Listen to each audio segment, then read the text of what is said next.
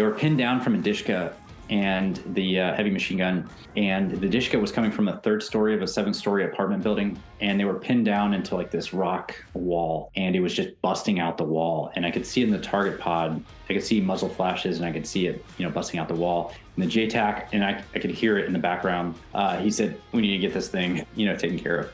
Calling with heading, expect clearance on final. Like, yep, you know, dude's in uh, 180, clear hot. So we ended up uh, dropping, and then we blew that third story out within like maybe a minute and a half or two minutes of getting that nine line. Welcome to Combat Story. I'm Ryan Fugit, and I served Warzone tours as an Army attack helicopter pilot and CIA officer over a 15 year career. I'm fascinated by the experiences of the elite in combat.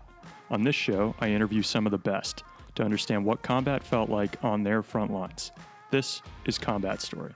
Today, we hear a fascinating combat story from an active duty and currently serving F 15 Eagle fighter pilot, Ryan Stinger Fishel, who's been involved in some of the most recent combat operations we've talked about on the show, including Syria and Iraq in Operation Inherent Resolve fighting ISIS. Ryan has an absolutely remarkable story of how he found his way to the Air Force that included a Forrest Gump like path of hustling and fighting for any flight time he could get in the civilian world, to include incredibly risky and sketchy flights shuttling aircraft from the US to various countries in the Caribbean.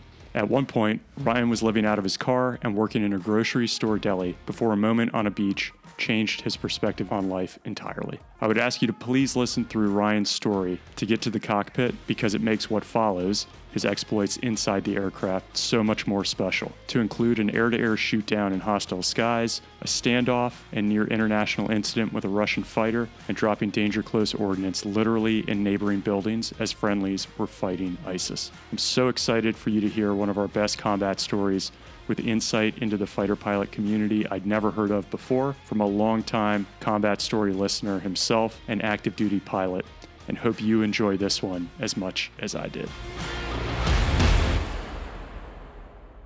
Ryan, thanks for taking the time to share your story with us. Awesome to be here. Thanks. I was uh, I was hoping you could share how we came to to meet each other because it's very rare, as you know, to have somebody on the show who who's still in the middle of their service, who, who's done their time downrange, but still has more to go. Um, so I, would just love for you to share uh, just some context behind that. Yeah, sure. Um, so I'm a big fan of uh, some military podcasts, and moreover, listen to people's uh, individual stories.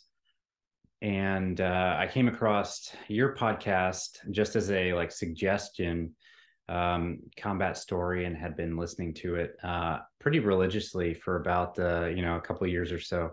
And uh, i thought it was just absolutely awesome. And the people on there were great. And the stories how personal they were and a lot you know how open people were about stuff. And i had in some ways related to you know some of the people on the show and just sometimes uh, some of the events that they talked about like i was there you know either in the air or not or, or around or whatever. And it was it was kind of a cool kind of brotherhood sort of thing. So appreciate that. And I didn't realize that we were in a similar email thread group. Um, and uh, it, it, was cool hearing your story uh, as well. So uh, so yeah, I was and you know connected, I guess, uh, through that. So it's pretty awesome. Yeah, I'm I'm just super excited to be on the show. To be honest. Oh man, so happy to have you. And yeah, we're we're on this um, on a forum where kind of talk with a lot of people. So tons of people in this forum, but just talking about things that are going on national, international affairs type work. Um, but it was funny when you reached out. One of the things you said that I just that caught my eye. You said, "If you ever want to hear exaggerated combat tales from a slightly below average fighter pilot, let me know." I was like, "This sounds like exactly what we want to hear." So, thanks again for reaching out, man. I'm so excited uh, to talk to you, and I, I am genuinely thankful that you've been listening over you know past year or two. I know one of the things personally I regret is that I didn't invest more in understanding what other people had gone through um, while I was serving. I wish that I had read more. You know, we didn't ha- have podcasts the same way you do today in this forum, but I just wish I had read more on it to learn more from other people's mistakes and experiences. So it sounds like you're taking advantage of that, which I'm jealous of. Yeah, I was super happy about that because the um, when we had done a lot of close air support and everything, um, we connected with the guys on the ground in more of a kinetic capacity. But then hearing their individual stories and what they were doing and what what it was like to uh, be on the ground and um, you know either benefit from uh, close air support or not, or facilitate whatever mission there was. I, I thought it was really awesome, and, and it's key for for us to in order to be able to employ a little bit better. I think it's absolutely critical that we try to get their perspective more. You know, the more that we can is probably the better. I, I, agree entirely. And Pete, you may have heard me talk about this, but like I, I really sought out chances to understand the ground guys, just how they were going to move on a target, you know, what they were looking for, how we can make it easier for them, because that's that's where all the work gets done. Like, how can we just make their life easier some way? So I hear you. Um, one thing I have not picked up yet is your call sign. So I think we got to start there. What uh, what do you go by? Uh, so my call sign is Stinger. Um, and that comes That's a from, good uh, one, man. Well, so usually the the good ones have like the a story behind them that doesn't really, you know, it's it's kind of an inside joke sort of thing. Um, so if it sounds really good, usually there's a there's a story there that that's probably pretty embarrassing. Uh, and and mine is, but it's not really family friendly uh, for the show. It's something that you know we get a few beers or whatever, and I'm happy to happy to tell you all about it. But as far as like you know, family stuff. It's like uh, I think you interviewed a guy, Wiz, you know, right? Yep. Yeah, his was a lot more family friendly um, from from that uh, call sign perspective. So, and and also it, some of the um, some of the Air Force call signs are are a lot different than the Navy call signs.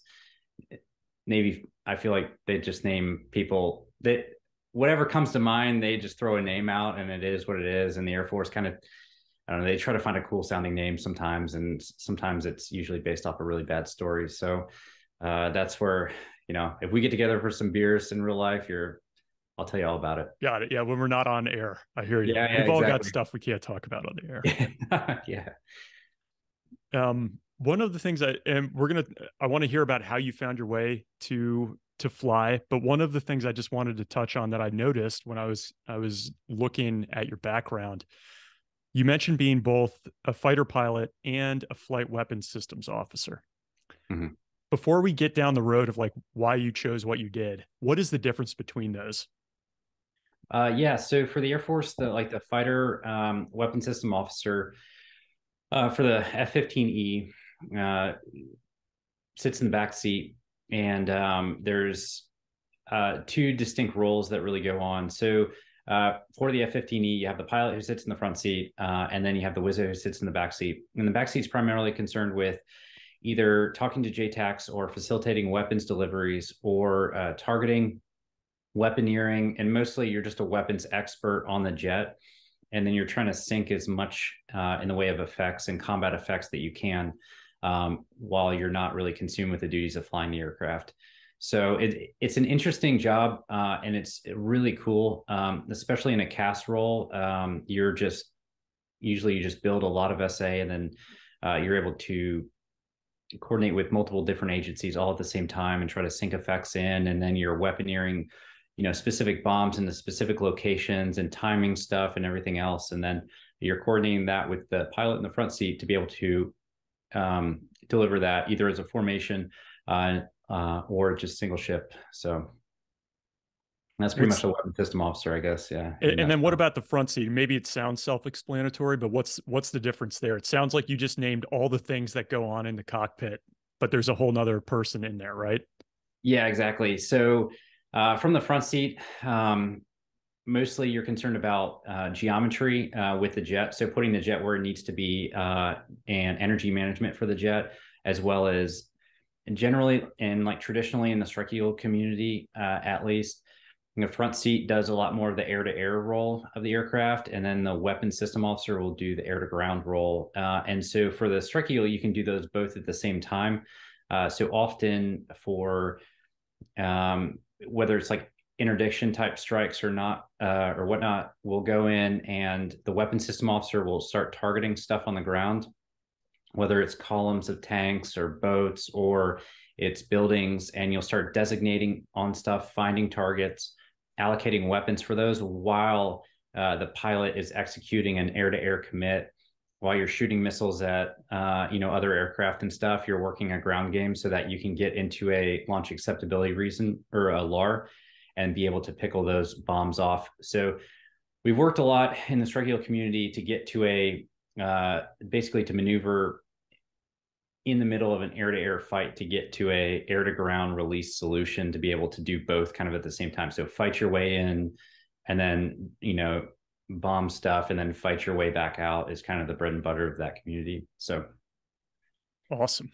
That's mm-hmm. super interesting. Okay. And then I don't want to put you in a tough spot here. So if you got to deflect, go for it. Go for it. What's the, is it safe to say that the fighter pilot side of the equation is more sought after? Yeah, I I mean, I think that's true. Um, and it's there's nothing, you know, in my opinion, since now, you know, I've experienced in both seats, I would say that like the the front seat of a fighter is or the you know, single seat of a fighter or whatever, uh, is such a cool place to be. Uh, and it's not that the back seat isn't at all. It's just that the front seat is you're moving the jet where you want to, and especially if you do BFM or, or like dogfighting, it is just awesome, you know, to be able to do and, and to be a pilot and to fly. Um, but um, from the tactical side of the things, the Wizzo is actually um, a lot of times making more stuff happen. And Wizzos oftentimes are they're kind of unsung I would say unsung heroes for a lot of things. Um, they are kind of the, these tactical, uh, you know, symphony conductors, uh, you know, as it were, that that are making a lot of different things happen behind the scenes, and and they really get into the weeds on tactics. Um, now, pilots do obviously as well, but the but the Wizzos are are really experts in that, and they're experts in weaponeering. So on the outside when you're looking in for like a recruiting poster or whatever you see the person and whether you're flying a single seat jet whether it's an f-35 or f-22 um, you don't really see the things that a f-15e wizzo you know does uh, in in that role but uh, but there's a lot of really cool stuff um, i personally uh, you know i love the front seat um, but I flew um, prior, you know, flew as a pilot prior to the Air Force. So I kind of always, I if you want to say identified as a pilot or you know what whatever um, that's sort of where i found myself. But i really really infatuated with the tactical side of it um, which was uh, more the uh, you know a lot in the wizzo side so. Got it. And you mentioned uh, your time before. So would would your parents or friends when you were a kid have been surprised to hear that you grew up to be a, a fighter pilot? Uh, i don't think so i well yes and no i think that um, I think that a lot of people um, are surprised that it actually happened, um, but nobody was surprised that I wanted to, if that makes sense. So it, it, does, but why do you say that? Why do you say that they might be surprised it actually happened? Um, it was just it, it, the way that like my uh, growing up and life story, ha- uh, you know, all that sort of stuff happened. It, it wasn't. Uh, I, I wasn't the most promising child, I guess, out there, if that makes sense, especially around about the college freshman, you know, side of things. So, I mean, are you saying that you had like a, a dark side, mischievous side?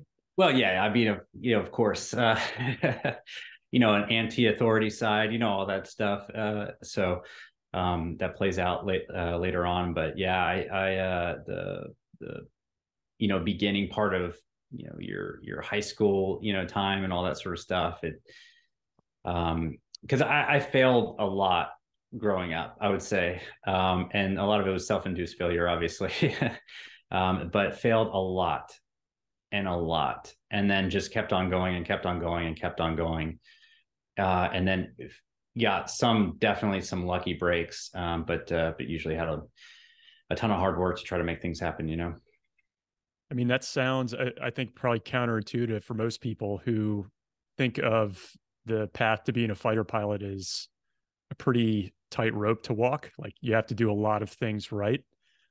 Um, was it maybe you failed at these other things, as you said, but like you had this passion to go this one direction, you just weren't to miss that opportunity? Yeah, there was there was several like little key events that kind of happened along life, and uh, I'd gotten to a point really where I didn't want to look back on life, you know, get to be probably the age I am now, you know, and then look back and say, I could have done that if I worked my hardest to do it, um, but I didn't. Um, so I wanted to just say, you know what, screw it. Like we're going, you know, balls to the wall, and we're just going to make this happen no matter what. Um, and and it, and it wasn't an easy road. Um, and I'll tell you that, like, I would work really, really hard uh, to get an opportunity. I would get the opportunity, and then I would blow the opportunity, and then I would have to start over and work super duper hard, and then get an opportunity, blow it, and then work hard to get. You know what I mean? So it's like, I, I wouldn't say I was, you know, the smartest kid on the block for sure, but yeah.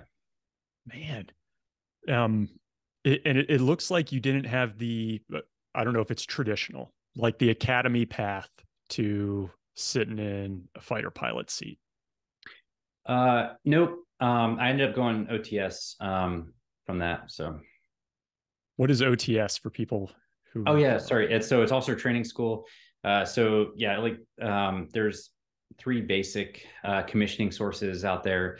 You got the academy, you know, for the Air Force, the Air Force Academy, obviously, and then you have ROTC, um, which is you know coincident with college, and then you have OTS, which is kind of like post college. You you have a degree already, um, and uh, and I really didn't get a great degree. Um, I got a degree in uh, business from an online community college, uh, four year degree, and uh, it just so happened that um, whatever luck happened on the AFOQT, which is the Air Force Officers Qualifying Test, like I got a decent score on that, and then got some some other you know other things went on, but um, but yeah, I mostly got really lucky a couple times. Um, so man, but yeah, it was it was uh it was kind of interesting. The uh, I went from I guess growing up and I, don't want to bore you too much with the no man this is why we're talking with the growing up the details, path. you know, but uh, but yeah, so um, you know, I'm from Florida, uh, and so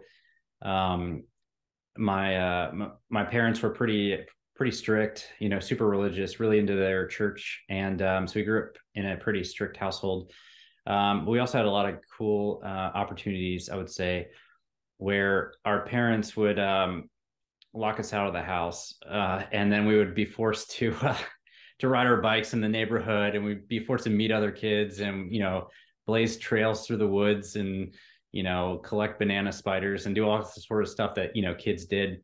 And so we had a, a really cool imagination um, i think that built out of like creating your own um, you know your own afternoon time without anything to preoccupy you which is which is kind of cool. And um, i had a friend uh, who lived probably a couple streets down, and uh, his parents were in the church as well. And he, uh, his brother was a recon marine, uh, force recon marine, and uh, he would come back every once in a while, you know, and uh, we would just sit there as you know 14 15 year old just listening to his stories about going to you know japan and thailand and you know all these places and he was you know, skydiving with dogs in Australia one day and do, you know, doing all this crazy stuff. So we, we, uh, we got into uh, reading a lot and it was reading all these uh, journals and diaries of uh, people, whether it was in Vietnam or post Vietnam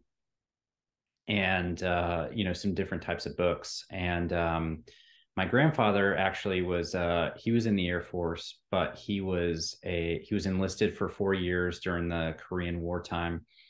And uh, whenever we would go to his house he had a bunch of books in his library and they were all journals of fighter pilots. And he was really into aviation being a, a an air force guy. And he was into building model airplanes and he had a private pilot's license and he was a um, he was an engineer for pratt and whitney at the time. So we had kind of this a natural connection to aviation through my grandfather, and then a natural connection to the military through him, as well as through our friend who was the uh, Force Recon Marine. So uh, I pretty much just collected all these journals of all these fighter pilots and just read them. You know, couldn't get enough of it, and um, the uh, my my friend who had the Force Recon Marine uh, brother um, would uh, would hand me books too. Like that, we had a book called SOG by John Plaster. I don't know if you yeah, yeah. you know about the, yep. which is just fascinating because these guys were such out of the container thinkers, you know, and they, they were awesome. And um, we wrote another book called The Company They Keep about the Green Berets and then, uh, you know, the, the Q course and Robin Sage and all this sort of stuff. And it was just this cool, um, you know, land uh, and, and, and kind of where we saw, or where I saw at least like a future in, you know, eventually. So, um, we kind of fast forward a little bit to uh, get involved with a Civil Air Patrol, which is like this uh, kind of JROTC sort of thing that does like search and rescue and everything. Yeah, it's awesome. You fly, right? I mean, yeah, you fly. Uh, so I got a chance to fly a little bit with them, which is which is awesome. Um, and then um, I ended up um, getting a uh, a scholarship into Air Force RTC. Uh, so it was like my path is laid out for me. I'm going to go be a fighter pilot. Like this is how, and I'm going to go to a test pilot school and I'm, you know, all this stuff. Right. So the scholarship was contingent on taking a, um, on being an aerospace engineering major. And um, I am not good at math, like at, like at all. So maybe that wasn't the right major for me. Um, so anyway, I went in very optimistically and um, got morning registered for morning classes, which I found out was like a huge mistake in college. Um, and uh, and they were all uh, classes that had like um, attendance was in your grade, you know, um, which was just the worst for me because I was terrible. I was terrible at math and I was terrible at time management. Uh, so like between all those things, it was just doomed. So I did the first semester of ROTC. Uh, I was kind of like, man, uh, I'm not really 100% sure with you know all these people out there, and um, and then I pretty much flunked out of um, Embry Riddle uh, at the time. So I had like a 0.8 GPA or something like that. Like it was like just the worst. Um, and I was working at the time as well. Uh, and, and it was just, I was just not good at any of this stuff. And I didn't really know how to study and all that sort of jazz. So um, my parents deeply disappointed uh, kind of an embarrassment really to the family, you know, with all this stuff. So they uh, they bring me back in the house and they say, "Hey, listen, um, you can stay here, but you're gonna have to pay like four hundred dollars a month rent. You know what I mean? And you're gonna have to work and stuff like that." I was like, "Okay, great." About that time, uh, some of my buddies and I had um, made a uh, a super awesome potato gun um, that we had designed on CAD, which was the only cool thing that I grasped out of the engineering thing and we went to a um, a dry lake bed. Apparently, it was somebody's property. I didn't know that at the time, and we got arrested for armed trespassing. So, which is a felony, oh by the way, in Florida. Um, and so we got asked if we were training terrorists, and like there was this whole thing with the cops and all. all anyways, the judge heard it and was like, "Wait a minute." You guys said you had a potato gun and you got arrested for armed trespassing. That's ridiculous. You know, I'm going to drop this down or whatever. If you guys do some community service, I was like, okay, that sounds great. Anyways, uh, so I had an arrest on my record. I had a 0.8 GPA, and then I was living at my parents' house. You know, and then part of their rules were that, um, you know, you had to go to church every Sunday and or twice every Sunday, uh, and all this, you know, other stuff. And I said, well, you know, I need to buy a car, and I ended up buying this like 87 BMW for like 1200 bucks. And um, I decided that I needed to work more than uh, follow the rules, you know, in my parents' house or whatever.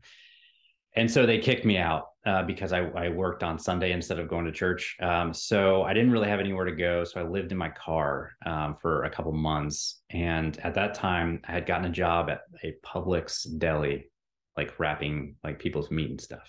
Can I pause you for one second? Yeah, you bet.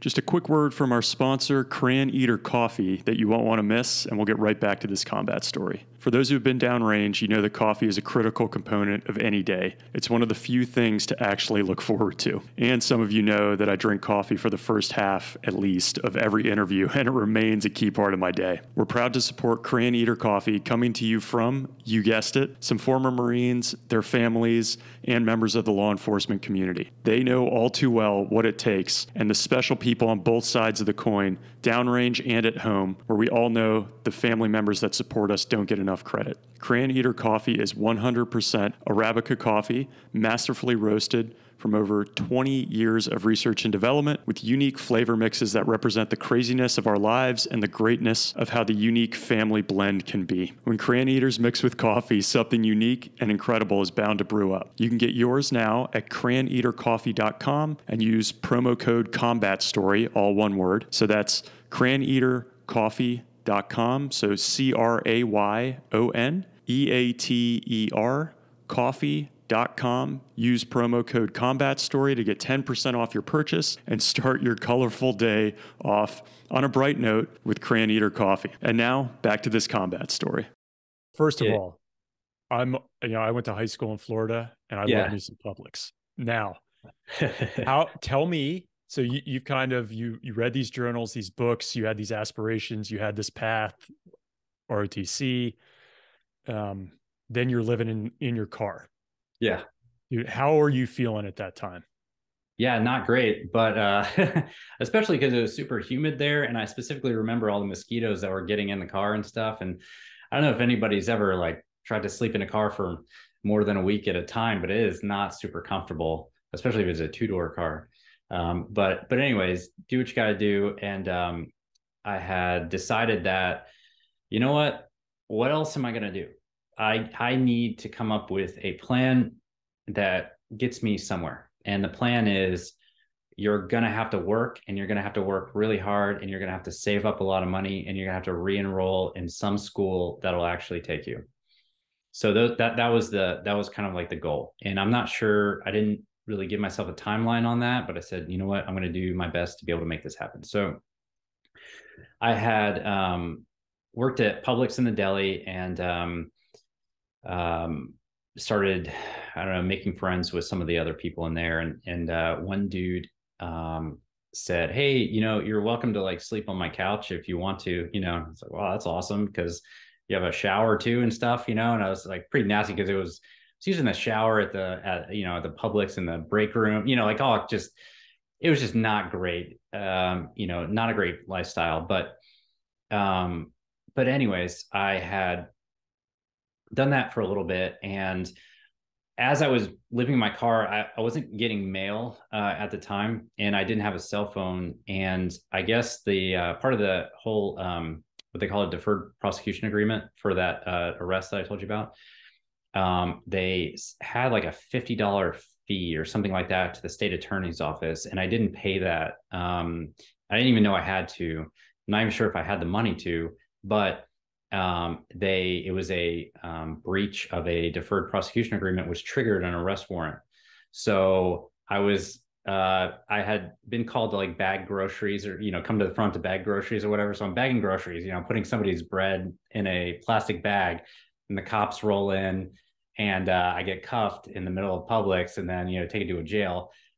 So the the friend that I met, um, and uh, they had uh, raised money to bail me out.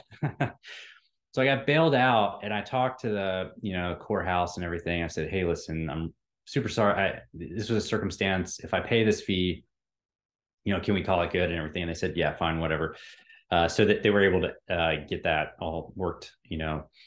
Um, the only problem is that when the Florida Department of Law Enforcement filed that, they filed it as a felony arrest, which obviously, as you know, creates a whole host of problems if you're, you know, trying to get into government service later on down the road. Anyways, so uh, so yeah, um, but my uh, so through the friend at Publix, his name was Ryan Bader, who's just an outstanding guy. Um, he had introduced me to some other people. Said, "Hey, we we can like you can live at our house on the couch a little bit more permanently." You know, if you throw some money at us for like utilities and everything. And they had a single mom who was working like 12 hours a day as a nurse, you know, and everything. And I was I just couldn't be more excited to like live somewhere, you know, live somewhere with running water and you know all this sort of stuff. Um, so I did that for a while. I made they were just outstanding friends, and we we developed a bond, and it was awesome. And um, they said, "Hey, we're we're ocean lifeguards uh, during the summer. You should come out, you know, and try to qualify and everything." And I've been surfing and swimming my whole life, so I was it was pretty natural. Uh, and so qualified and started doing a sort of becoming a ocean lifeguard. and then working at the Publix deli, and then had shifted to becoming a prep cook, uh, taking like a third job as a prep cook at a local restaurant, you know, and stuff like early in the morning. Try to bounce like three jobs. Uh, and then later on became a bartender, you know, a server, and bartender, et cetera, at night, um, so that I could raise money to go to go to college. And the lifeguarding was awesome. Uh, I loved it. Like I loved, you know, being out there and swimming. And it was an ocean lifeguard, so you had to, um, you know, it got to be challenging and stuff. And and there was one instance while I was ocean lifeguarding that I, I would say changed um, my perspective on life and some other things. And that was I had just been newly qualified, like I had just got through the training, and you get to a point where you can sit on a tower by yourself, you know, and and they trust you. And I remember talking to, I was sitting on a tower, and it was in. They put you on the like almost no the the place on the beach where like nobody you know comes, so that you're you can you know you're a noob and you're not really that good and stuff, so you're not going to get any trouble. So I'm out there, and you know get up there and I think I'm real, you know, hot shit and stuff on this lifeguard tower. And there's girls walking by, you know, we're talking and stuff. And I end up talking to this uh, one chick and um, we're talking for a little bit. And out of the corner of my eye, I see uh, two kids um, like playing in the waves and didn't really think much of it at all. And there's like, okay, well, there's two kids playing in the waves, you know, comp- just like I could not have been more naive to what was going on. And um, they actually were getting pulled out by a rip and they started to drown and they were actively drowning. It was within the first 30 minutes that I was alone on this tower for the first time.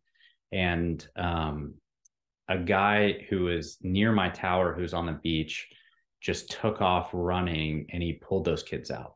Um, and he saved their those kids' lives while I sat there on the tower and just watched. And that hit me like a ton of bricks afterwards because um, it was the one of the most humbling times like in my entire life um, of saying that you know i had a responsibility and i wasn't able to execute that responsibility. And i'm thankful that this person was there to be able to actually do my job for me. And he wasn't even you know he wasn't a lifeguard. He wasn't even paid or anything. And uh, that that i carried with me for you know the rest of my life basically as a motivation of like you know you have to take action when things happen and like you have to be the one that does stuff if that makes sense. Um so so that was that that kind of definitive you know point in time. Anyways um that, that's super interesting ryan. Like I, I don't even know how the hell you're in an aircraft at this point. I'm like what happens in your life? So it makes sense like you have this uh, pretty defining moment. I i hear it.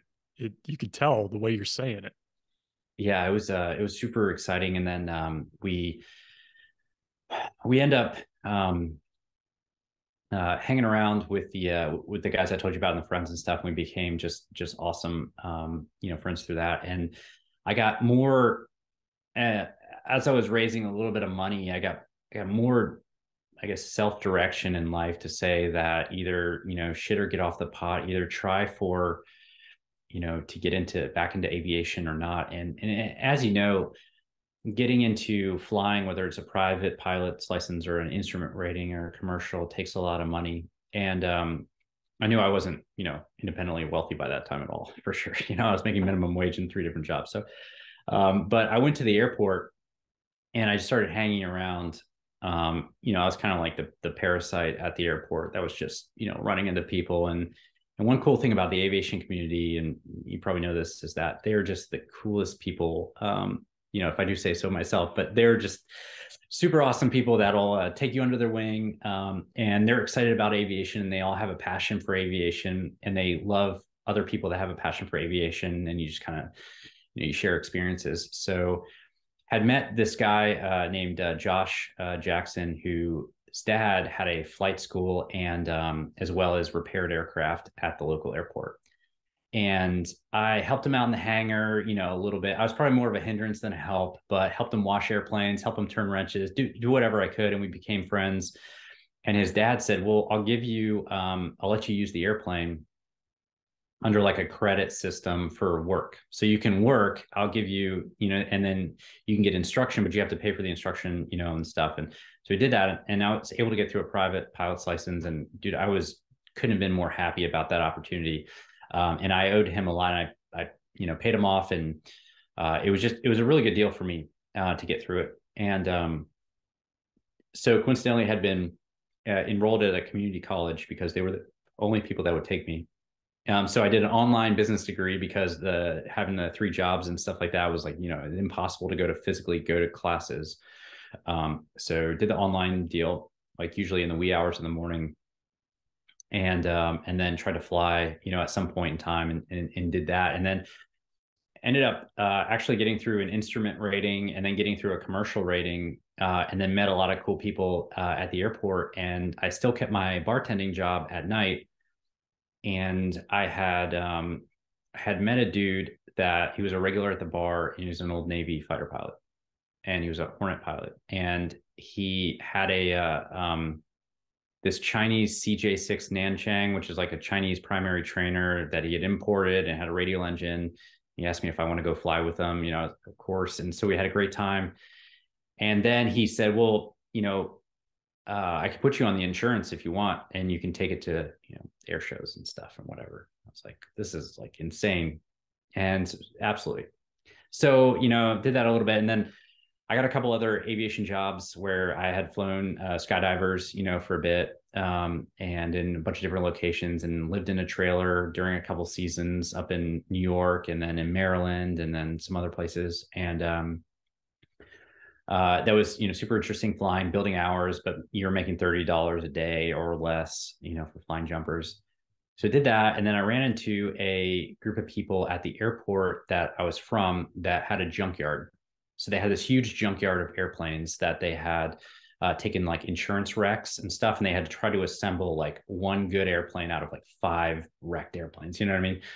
So the guy approached me and he said, "Hey, would you want to fly this Cessna that we just assembled from eight Cessnas that had tornado damage down to Puerto Rico?" I said, "Absolutely. There's no question. I'll do it." He's like, "I'll even throw in a life raft." And I said, "Done." He's like, and I'll pay you fifteen hundred bucks. I said, "Apps, that's fine. That's great." Uh, I said, "When do I start?" You know, so I planned it out, and it was going from the east coast of Florida to uh, down to Puerto Rico, which which is kind of far for a single engine airplane. So, um, you know, I test fly the airplane once, and I test it for like 20 minutes and decided it was totally fine for me to take in my expert knowledge of uh, all things aviation. And so I had taken off from uh, Florida, went to the Bahamas to uh, North Eleuthera, got some gas there, and I had to time it because the airplane had almost no instruments. It was like super VFR only airplane, and uh, there was no nighttime VFR in the islands, um, so you had to make it during the daytime. And since you're going east, right, uh, you're kind of up against daylight as far as getting there. So I go from North Eleuthera, you know, uh, go through customs there, refuel I go to Providenciales in the Turks and Caicos and we get delayed for customs. And nighttime's kind of approaching. I'm like, God, you know, screw it. I'll take off anyways, you know, whatever. If I break a few rules, who cares? Uh, and then it's about 500 miles from uh, Providenciales to Puerto Rico, which is like the max range of a 172 uh, plus about, you know, I don't know. Basically, I had about a 100 miles of slop um, of reserve in there. And I got about halfway there and I noticed that one of the wings wasn't feeding. And uh, it was a bad time to notice it because you're over water and it's starting to get nighttime. And uh, you've probably flown over the water at night, like in the middle of the ocean, and th- there's not really that much out there. Uh, and uh, if you're going to ditch at night, well, you know, it's probably not going to go great. and what's more is like the nearest Coast Guard station is, you know, hours and hours away. And, you know, it's just, it's just not where you want to be, you know. Ryan, how many hours do you have at this point in time? Like 250 because I had just Holy gotten a fresh commercial. Yeah. So and, and I wouldn't even call those like quality hours either. I would call those like, you know, so-so hours. So uh end up, oh my God, man, this sucks. So uh, I got to climb up and I'm climbing up to the point where you get um almost hypoxic, right? Because it's either that or, you know, try to save some gas here and and uh, take advantage of the winds aloft. So I, I get out and I'm VFR only, only have a VOR uh, to navigate. So no GPS. So no, like I had to do old school navigation with dead reckoning, like over the ocean and stuff, and had a, a sectional chart for down there. And I found the Dominican Republic. The closest airport that I could see was Punta Cana, uh, which is on kind of the tip of the Dominican Republic. So I tuned in their VOR. I got a uh, I got a bearing to it. I had done some calculations with like winds and stuff as I was flying over the Bahama Islands, and basically it was like uh, doing like time cuts with a stopwatch of when you're arriving to get a ground speed hack. So I got kind of an idea roughly about when you know where I needed to be and if I could make it there. And it was only about I, I made it there, and I was about five ish miles out, had the uh, runway in sight and stuff, and then the engine gave up.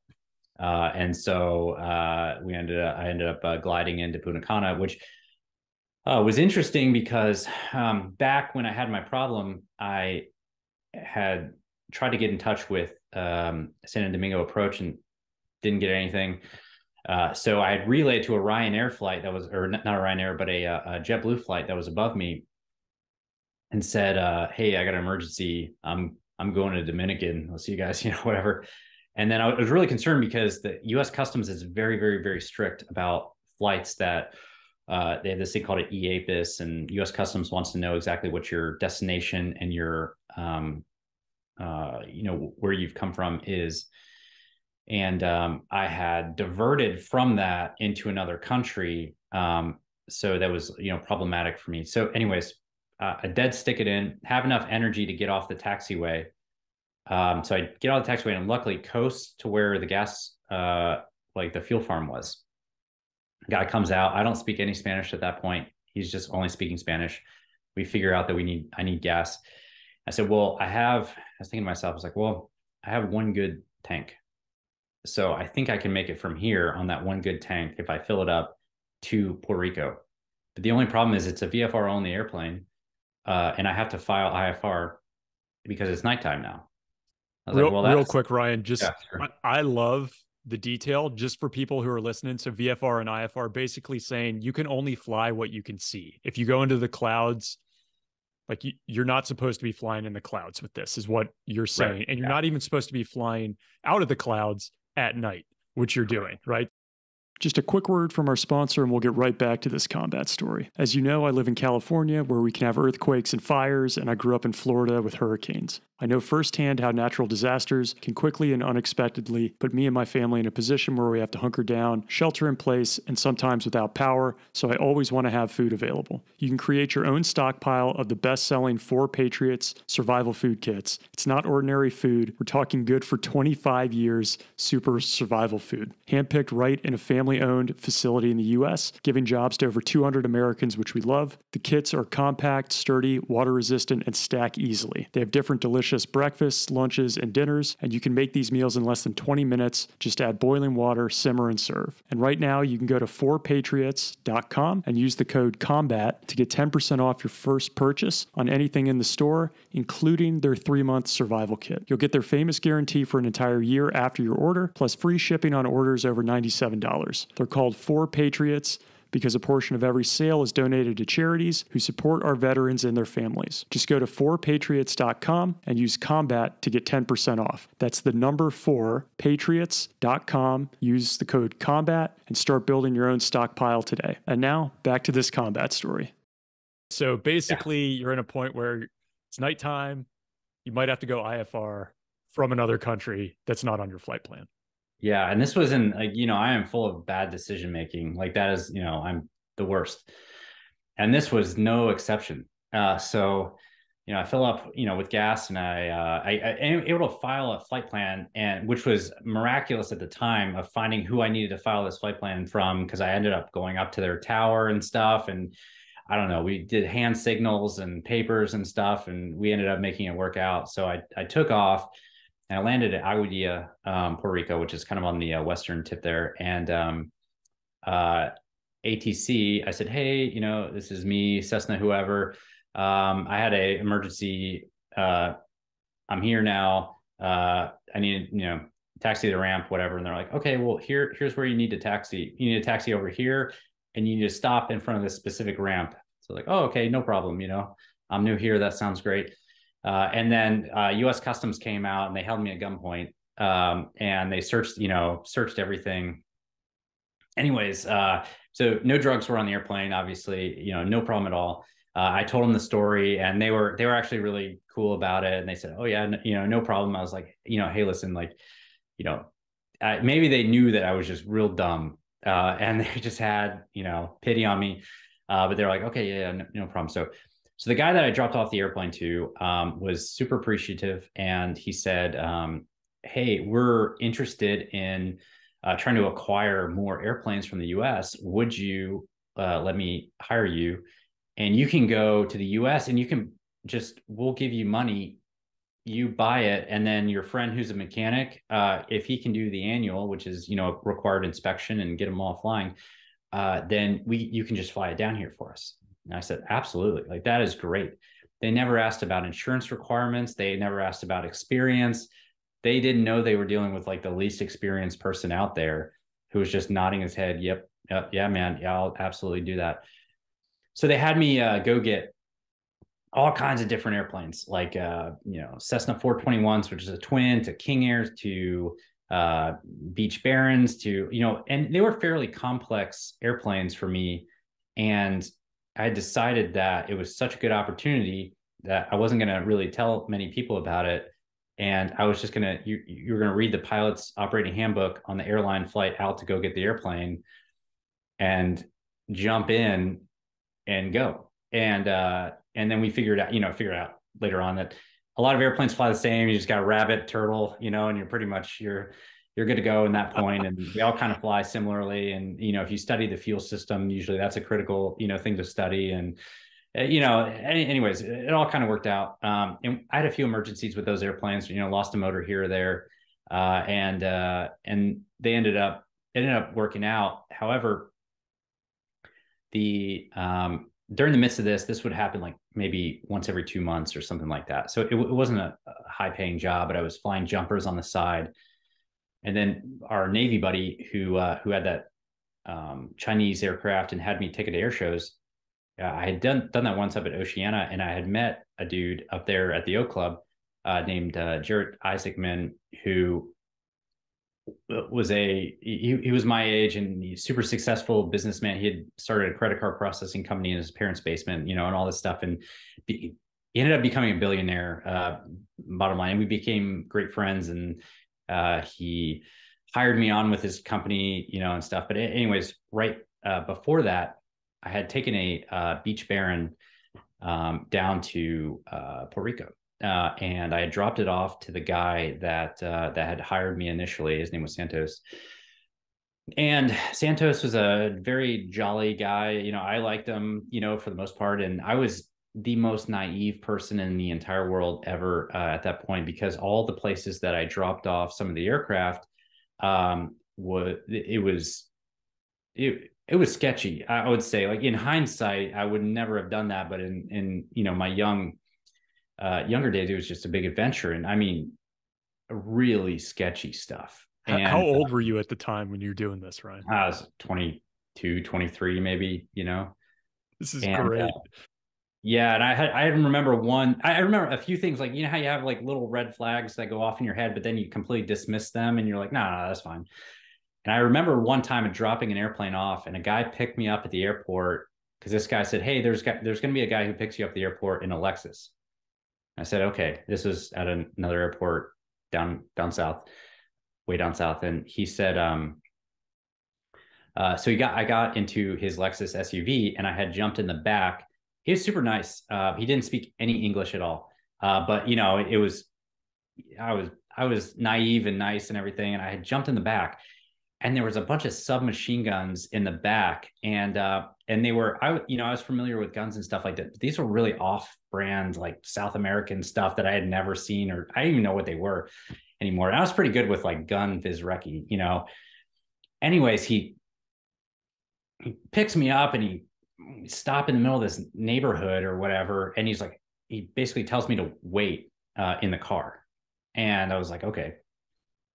And he's gone for like four hours, and then uh it, I ended up like wandering into a corner store to get a beer.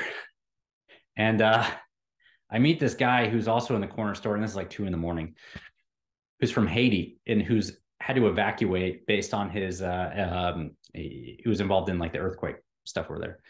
And he speaks English. So we're starting to talk in English and stuff. He was a great, you know, had a great time with him. We drank some Presidente beer and stuff. And uh, and then the guy comes back randomly and then we go we drive to a hotel and, and then you know that was that and then he drops me off at the airport in the morning and i take you know flew the airplane uh, back to puerto rico and stuff and anyways yeah so that, that was one of the sketchy you know sketchy things of just just really random weird stuff but so the last flight that i did um i dropped off this baron and um uh, Santos said, "Hey, would you want to come with me to Santo Domingo uh, in the Baron?" And I said, "No, I got to jump on this JetBlue flight back to Florida uh, because I'm trying to, you know, I had another job that I was going to do." So like, okay, no problem. So um, I leave him there, and then I I um, land in Florida in Orlando on kind of a red eye flight, and his secretary calls me and said, "Hey, did you hear what happened to Santos?" I said, "Nope." Uh, he said, "Well, Google his name." I said, "Okay." And it turns out that he flew to Dominican Republic, and while he was trying to leave, um, somebody shot him twice in the back of the head, dumped him in a ditch, and then found 52 kilos of cocaine on that Baron, and um, which is a twin, a light twin, and the uh, Dominicans had seized the uh, airplane. And it turns out um, that it was potentially he got set up and stuff or whatever, but uh, I didn't really know much, many of the details. So I decided that I probably wouldn't be working there anymore. You know what I mean? um, so I decided that it was best to just say, okay, that was great. You know, stay in the US for this one. So, anyways, so started working for for Jared, and, and, and Jared had um, Jared Isaacman had um, he was really into aviation as well, and he he wanted to start a jet team, an air show jet team, and so he bought a bunch of L L thirty nines. And so I said, hey, you know, listen, I have some some super sketchy twin time, you know, uh, but I'm happy to fly, like whatever, whenever. And so he hired me on for the air show season, and and I just helped like wash airplanes and polish airplanes, and occasionally I caught a ride and stuff. And I did a bunch of like logistics stuff, and they had a business jet, and ended up uh, starting to fly that, and uh, I uh, I had the best time of my life uh, with those guys. And so the jet team had these guys who were Air Force fighter pilots. They had been on the Thunderbirds before, and uh, you know a, a, couple other guys had some other backgrounds that that what, Jared. What's the name of the jet team? So back in the day, it was called the Heavy Metal Jet Team, who became the Black Diamond Jet Team. Um, who's uh, they're technically still around, but cool. Yeah. In any case, uh, so we we go around the air shows, you know, and having a great time and stuff, and I'm and we're with these pilots who are just incredible, and they had these crazy stories. Um, a couple F sixteen guys, and uh, you know they had been previous Thunderbirds, and we had one F fifteen guy, and then we had one guy uh, named Snort uh, Snodgrass, who is a, uh, legend in the F fourteen community. Um, so just great people overall, and I was just humbled to be in their presence and just around. You know what I mean? When you're around in a bar and you're not talking, you're just listening to stories and stuff, and it's just like the greatest time of your life. Um, so uh, anyway, so hung around with those guys and, and got a lot of time flying uh, jets and stuff, and then ended up getting type rated in this uh, old Sylvia L39, which is their jet trainer. Uh, and then, uh, so I'm like, well, you know what? I'm gonna still go try to be a fighter pilot. So I got um, hired by the, uh, strangely enough, I got hired by a guard unit in Tulsa, um, a Oklahoma guard, uh, to fly F-16s, which is like the greatest. If you get hired by a guard unit, that's you know the holy grail of of stuff. And we had uh, so uh, they had an interview process, you know, you go to and stuff, and it was like, I don't know, they had like 20 people there, and they were going to hire like one person. They decided to hire two people, and uh, the other guy that they hired, I remember meeting him there I asked him what he did, you know, because everybody's like a dog sniffing each other's butts and stuff as they're, you know, as they're walking in the interview. And uh, I asked him what he what he does, and he says, uh, "I'm a test pilot." And I said, "What?" He's like, "I'm a test pilot for Hawker Beech." You know, and in the T6. Anyway, so he's a test pilot for Hawker Beech in the T6. So of course he's going to get hired. That's you know, this crazy. You know, he's got 3,500 hours and stuff, and this and that. And I was like, well, you know, I flew for these sketchy people, and you know, and you know here here's my resume you know i uh, flunked out of school and i got a community college you know and and they're like hmm that's interesting like you're hired. So um so i was like well that's uh that's great. So they make you enlist in the unit uh, prior to actually getting hired. It's more like a formality thing. Um, but i go to what's called ams or academy of military science. So i orders cut everything. From there and so ams um, which is the guards equivalent of OTS. Uh, so it's just like a quick commissioning, you know, uh, school program at Maxwell, uh, Alabama. So they have a um, PT test that they do as an initial assessment there. And um, I had been in pretty good shape because I'd been an ocean lifeguard and stuff. So I was like, I was in decent shape. So I start uh, in the PT test, and it is day one, like day day zero, really.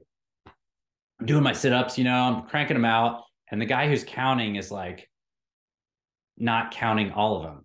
And I was like, man, that is real rude, you know, and doesn't say a word. He just doesn't count them. and he gets to like you know, you had to do like, I don't know, 50 or something, you know, in a minute. And uh and he counts like 40.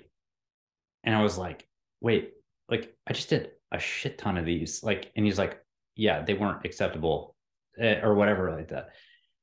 And I was like, okay, whatever, you know, and mo- moving on. And then, so we, you know, go to another in uh, orientation class that tells you, you know, whatever. And then that night, you know, come in and call my name along with like maybe 40 40 other people or so. And they said you all failed your in, entrance pt test. You're out. You're gone. You're done. And then that was it. So i called the unit and i was like hey listen um, i just failed this pt test and I, i'm not really 100% sure why it's supposed to be the air force it's supposed to be easy like i did all these sit-ups and stuff and you know i, I don't understand you know i i maxed out the push-ups but the sit-ups are you know and um they're like okay uh well you know, sorry or whatever. They're like, well, uh, we're really sorry, but you know, that was your chance or whatever. So this was about 2000, 2009 ish timeframe. And so um, I'm like, well, hmm, this is, you know, unfortunate. So I decided, well, I'm just going to go to an OTS recruiter and see if I can't get through OTS. So the guy is going through my record and he's like, wait a minute, you flunked out of an Air Force ROTC scholarship. You just failed a PT test. You have a you had a almost no GPA and you're wanting to come in the Air Force. Yep, that's me. So um he said, okay, well, you know, I'll put your I'll put the package in, but they're probably not going to pick you up. Um, but well, you know, I'll do the work if you really want them to. So okay, so you I, you know list the options. I put pilot first, uh, Wizzo second, you know, and stuff, and and so the Air Force comes back and for some reason, some weird reason, I don't know why it was a paperwork anomaly. Some clerk like messed up, but they said uh, we'll give you a Wizzo slot for OTS. I said absolutely. So now I know like man, these people are Nazis about sit ups at you know OTS. So I'm gonna work like extra hard to do like I'm gonna kill it yeah, super slow form, you know, whatever. Go there. Turns out OTS PT test was cake and it was nothing like the AMS PT test where they don't count, you know, most all of your sit-ups or whatever. So get through OTS and then um, end up uh, going to Pensacola for flight school for the uh, to, to be what's called a CISO, uh, and then go to uh, the B course for the F. So I get selected for the F15E, go become a uh, um, a wizard in the F-15E at the B course, and then go for my first assignment at Lakenheath. Um, do a full four year tour there, and Hold then yeah, go yeah. So yeah. So you didn't have to compete for like a a fighter pilot, not not a fighter pilot, but like jets. Like you, I did, you, yeah. Mm-hmm. You did. So, mm-hmm. but you said you kind of put in like your rank order was like fighter pilot? Yeah, yeah. so uh, so pilot, uh, and then technically the Air Force is calling it CISO. Um, so a CISO slot, which basically is like a nav slot. Um, so you go to nav school, or they call it CISO okay. school, um, and then you compete. You just like everybody else, you compete, and they usually have, uh, you know, out of a class of like 25, they might have like two or three F-15s out of that, uh, and then the rest to go to either B-1s or B-52s or AC-130s or um, you know, any of the big big wow. fatties. So, so you went the CISO slot that you got that slot, and mm-hmm. then you had to compete within that to get into the jet community. That's right. Mm-hmm. Yeah. So you, you've just talked about all these problems you had. What what changed that put you at the top of that list?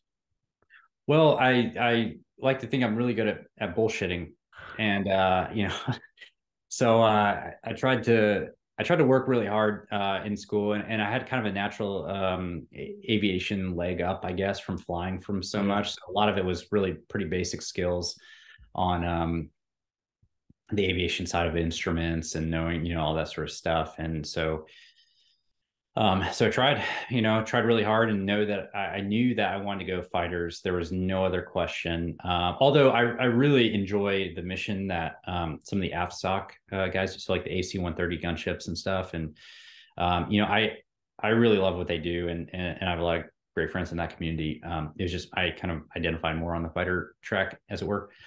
So competed for that, got it. Um, and, and I was a little concerned that I wasn't going to get it, but ended up getting it. And you, you compete uh, in that school, you go through T6s is your first, which is a single engine turboprop.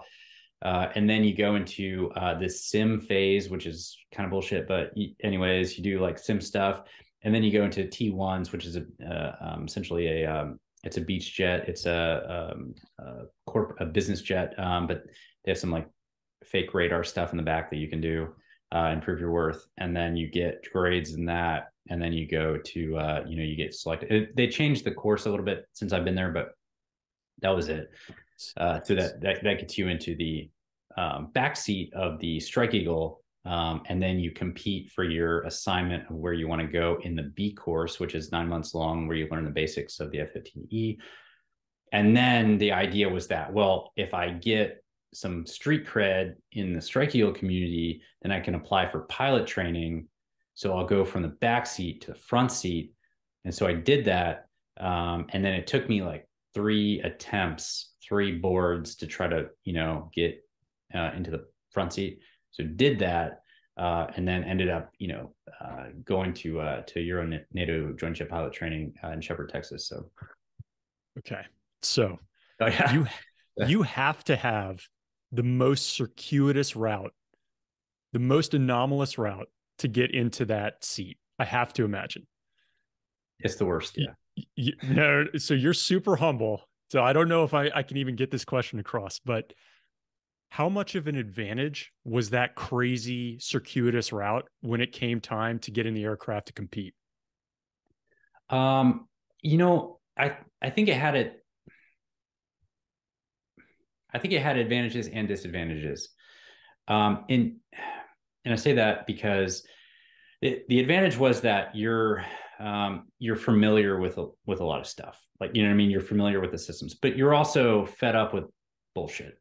So you don't have to, you you have less of a threshold for like stroking people's ego uh, and instructors and stuff. And then that's when you start, you know, especially when you go back to pilot training and stuff, and then you come back to the community and then you start over again and stuff like that. You're like, ah, you know, because at that time you're it's such a long road there. You just don't have time for uh, some other people. So it can come across as like this guy isn't very, you know, he he's not he's not a, a young blossom that we're you know we're we're trying to pollinate here. Um, he's just kind of you know salty about everything, you know, and life and stuff. But so, so yeah, I don't know if that um, answers question. no, it does. It does. I mean, I have to imagine that it it I I would think it would be a very big advantage if you're going up against what I assume is more of the traditional route of like, all right, it did maybe they did civil air patrol in high school. They got some flying hours. They went to the academy. They go to the they go to flight school. They're competing. Like they've done this pretty specific route, which is designed to get you into that position. But man, you just had to hustle for years. Like yeah. really have to hustle in a way.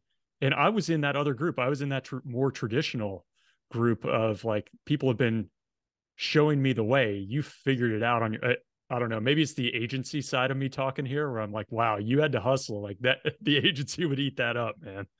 I love it. Well, it, it's also like uh, not super smart. And one thing I appreciated was that the guys who either came from the academy or around, like they were good at time management they were good at like they would take they could take something that somebody said and they could actually do something with it whereas i needed to learn my mistakes over and over and over again you know uh, and i needed to i was naive about you know a lot of stuff and ended up so it was, it was definitely the the school of hard knocks you know um but uh but you know eh, you know whatever. Life's a journey. No, I know. How about this? So we we rarely interview somebody who's still in. Mm-hmm. Um, most of the guys, because they're out, they're older, like me. They're old men. Mm-hmm. How old were you on 9-11? And what was that event like for you? I haven't heard that come up yet. Oh yeah. So um I was a junior in high school uh during that time. So whatever that is, was that 16 ish somewhere? Yep. Um, and and I remember, you know, I remember where I was. I was actually at a gym, and I remember watching it while I was on the treadmill. Um, and I was, I had no idea what had just happened. Um, I thought it was an accident. You know, I thought it was the first one was an accident, and then it happened again. And it's like, wait a minute, you know, something's up here. Um, so it was never really uh, September 11th was never really like the the super moment that I decided that I wanted to go into the military, like it is for a lot of people. Um, I do remember that same year. Sounds, uh, you know, is that Black Hawk Down came out as well, and Black Hawk Black Hawk Down had a huge impact on me for whatever reason, and it was about this this brotherhood, and it was about this you know service, and you know you're you're doing things and you're having these experiences and you're you're doing them for a purpose and in this and that. And um, so I, I, thought that was very impactful. Uh, and then the september 11th thing was just like for me at least and i think it was maybe because i was 16 is that just the rest of the rest of my life and the rest of my you know service would be like in in the shadow of uh, the GWOT you know? So it's just like a matter of fact uh, sort of thing that's really interesting. Um, yeah, I mean, Black Hawk Down had a very similar appeal to me. Um, but maybe it's just age. Like when 9 11 happened, I was like, oh my God, how do I get into this thing super fast? Um, that that's so interesting. Okay. So let's talk. You're you're in the F 15. We've not mm-hmm. been able to discuss the F 15 yet. Can you give people a primer? What sure. does this thing do? You got we we talked about the the pilot, we got the Wizzo. Um, what's what uh, if you had to do a quick walk around? Talk us through the F fifteen. Yeah, so it's a um, you know two seat multi role fighter, uh, so it can do air to ground and air to air uh, as well. Um, we have a variety of different mission sets uh, that come from what's called a DOC statement, but um, speaking in like more generalities and stuff, uh, generally the uh, there's two big missions. Uh, one of them is called defensive counter air, which means that we can um, uh, you fly around and then you target um, like attacking aircraft, aircraft that are going to bomb something that's important to you.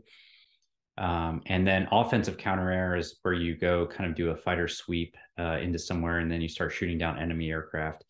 Those are the two big air to air missions that we do. Uh, and then we do air interdiction, which is like uh, cutting off supply lines and cutting off uh, things that are flowing into the um, like a front lines of a uh, a battle, so a FLOT.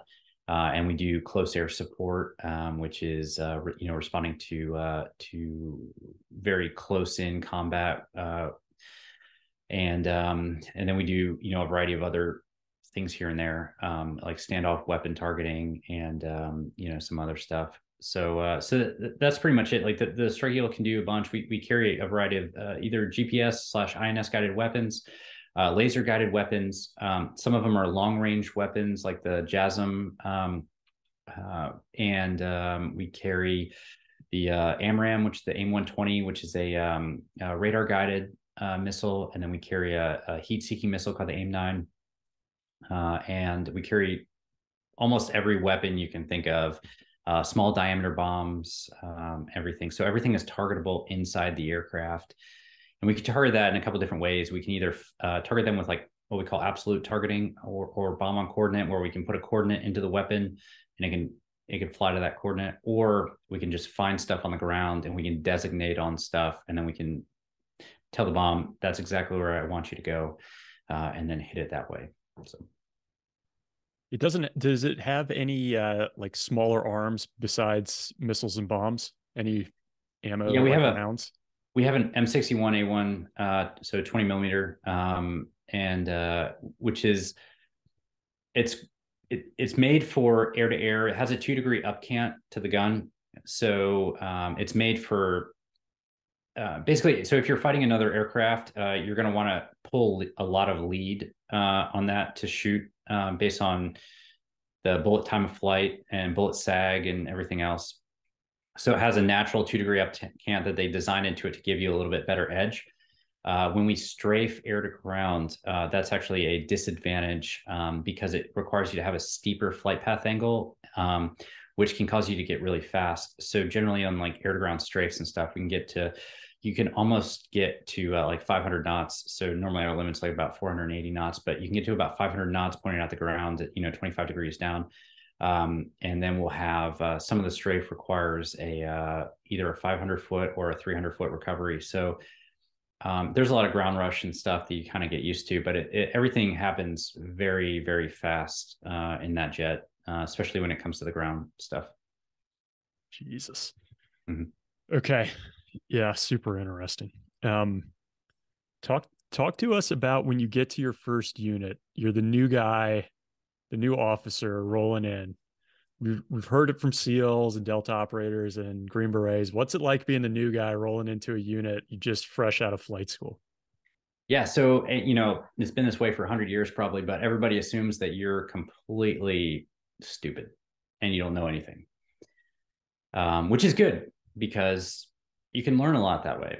And um, you try to soak up everything that you can, and everything's new to you, and you don't know what you don't know, and all the, these people in the squadron seem like you know legends and you're hearing them talk about combat stories and there i was and you know at the bar and one thing about your your fighter culture and your fighter squadrons is that every fighter squadron has to have a bar in the squadron it's like a rule somewhere i'm not really sure where it's at but it's it's somewhere and so uh, I go to Lakenheath, England for my first um, assignment, which is awesome because there's so much history with the RAF and the Battle of Britain and you know everything else. And there's a bar in downtown Cambridge called the Eagle uh, that has um, that used to be a uh, an old uh, RAF and Army Air Corps pub where flyers would burn their names into the ceiling before their before they would go out on a mission. And so they still have their names in the ceiling super cool, you know. And that, so we, that is awesome. That's yeah, you awesome. have to go. You have to go to the Eagle at some point. Um, and uh, you know, there's all these pictures and stuff, and so we'll we'll get squadron gatherings there, and everybody will get you know trashed and start singing old fighter pilot songs and stuff, and then the English people think that we're all crazy and stuff. And sometimes we get the RAF there too, and they're a little bit more toned down, but they're they're awesome as well. Um, anyway, so as you're doing these training missions in England, you're flying in the same skies that, you know, the Battle of Britain was happening at, you know, and you just like this crazy history and you're looking down and you're seeing all these old uh, fields that you knew were either decoy fields or they were Spitfire fields or, you know, whatnot, uh, or where B 17s were. And it's just the coolest thing, right? Um, so the, the uh, squadron bar is like a pub that we, we, uh, we had built. Um, so, you know you have all your squadron like collectibles you know in there from combat or whatnot you know and um, so we go there and, and the squadron bar is fundamental because it's the best place to learn in the entire squadron because that's where you hear you hear in a very informal way what happened what people did what people didn't do uh, how it worked out and you can ask questions and everything and it's just it's just a great place to be um, and uh, so part of being that was being enamored with this whole culture and saying that this is so cool. And we're, we're sort of, we're in uh, Europe, you know, we're in England. And we also have a mission where you know we would do we, we, would work some of the um, you know strikes in africa and stuff from the base and which was awesome you know so every once in a while you'd get an intel brief in the master bedroom in the vault uh, as we called it. And um, they would just tell you hey this just went down. You guys are on alert. Go into crew rest this and that. And you felt like you were really you know part of this alert team that was ready to go you know and you couldn't tell your family about what had just happened but you start packing your 72 hour bag and it was just really exciting. Um, but when you first get to the squadron, you go through something called MQ, which is mission qualification training. Uh, and it's a series of, of, different rides and different mission sets where they they teach you how the operational squadron operates. Um, and um, you get graded on those rides. And uh, you know, I hooked a bunch of rides, which means you you failed the ride.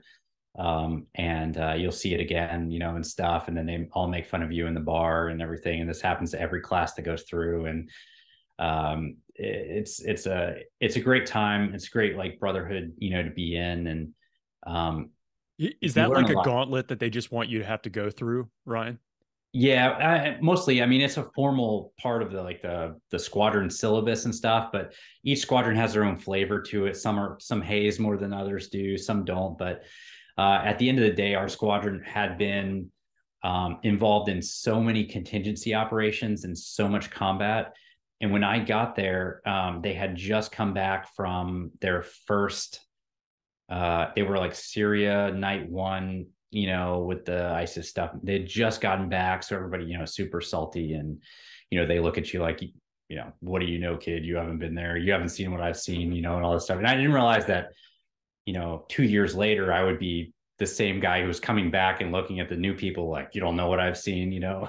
Um, so the uh, um, I looked up to those guys and and and and they were awesome. Uh, and uh, so every every uh, fighter squadron and throughout the Air Force, we have these things called patches. These these uh, these people. So these uh, these people called patches that are weapon school grads, um, and they're like the uh, kind of the center point of the squadron as far as tactics goes. And everybody kind of goes and they ask them questions and stuff. They so they get a patch from six months at the Air Force Weapons School. They come back. Uh, and then they uh, they run the weapons shop in the squadron, which is the weapons and tactics shop, which drives a lot of the way that the squadron employs super smart, very dependable people.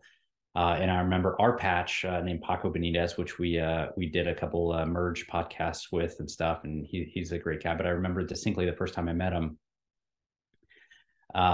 You know, I go back in the vault and try to ask him some dumb question, which you know, it was some stupid question I remember, and he just turns back around and looks at me, and he's like, "Can't you just look that up yourself?" You know, and then goes back to like typing on Zipper or something, you know, whatever it was. And uh, and and that was kind of the the flavor of the squadron was like you need to find answers yourself. Stop being lazy, you know, and and once you study for a change and stuff, and that would pay off a lot, you know, more later. And, and they were big on critical thinking and uh, the way the squadron, you know, function would be awesome when we uh, would later on, you know, deploy and stuff. So I got to say, um, so I just re-interviewed Kim Campbell, um, Killer Chick or KC mm-hmm. was her call sign, right? A10 pilot.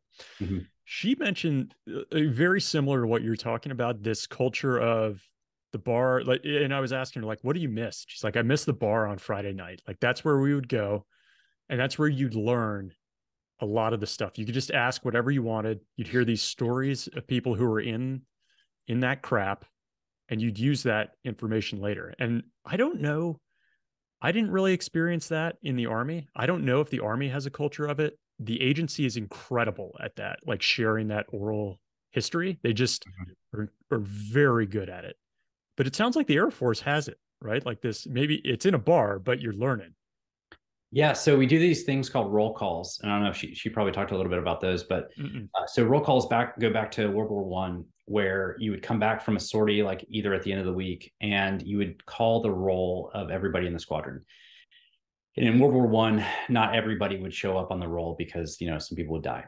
Uh, so you would kind of honor them by drinking and telling stories about them when they weren't there. Um, and so the roll call uh, began to be a thing where you would do it, you know maybe once every two months or something. So everybody would get in and you would have you had a mayor that you know he directs the whole thing and he's some captain in the squadron that's just you know sort of funny. And um, you're all drinking and stuff and you, you name people you know sometimes or you you have you have all these like the rules you know that go with it. And you can call people out no no matter if they're an 06 or an 07 if they show up to the roll call they're all fair game. And this thing called instant justice where you can just you know throw spear now you got to be ready to get spears you know back but uh but anyways you can you know we have a couple games you know that play and everything and uh and, and it's this great time where everybody appreciates everybody else. You're able to speak uh speak your mind and you know mob rule and all this sort of stuff uh but uh um the the cool thing is that as everybody's in this like kind of vulnerable point where um, you know they're they're cutting loose either they're you know drinking some people drink some people don't you know whatever but they're cutting loose and they're in kind of a vulnerable place and everybody trusts each other really at that point and it builds up a lot of camaraderie and a lot of trust through that.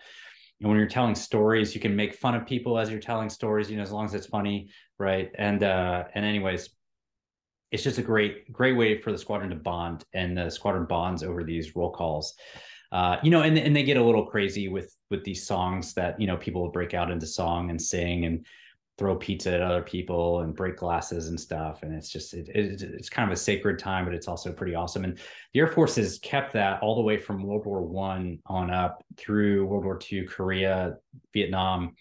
Uh, and then generally somewhere in the squadron there's a book of squadron history and then like shenanigans at roll calls and stuff and every once in a while you'll get a reading from that about something that happened you know 20 or 30 years ago. And and uh, and you have pictures in the halls of you know previous guys with previous aircraft and stuff. And it's just a it's just a great place to be you know?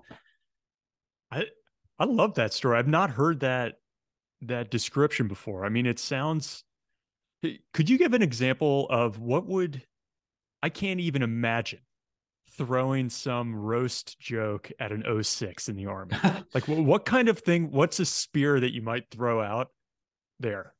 Uh well like you know obviously i leave names out of it you know for the purposes of you know yeah we'll protect the innocent here. Yeah exactly. But uh sometimes it would be for just like dumb stuff in the jet where you know you have so the cool thing about the air force the air force has a lot of faults. I'll be the first one to tell you that.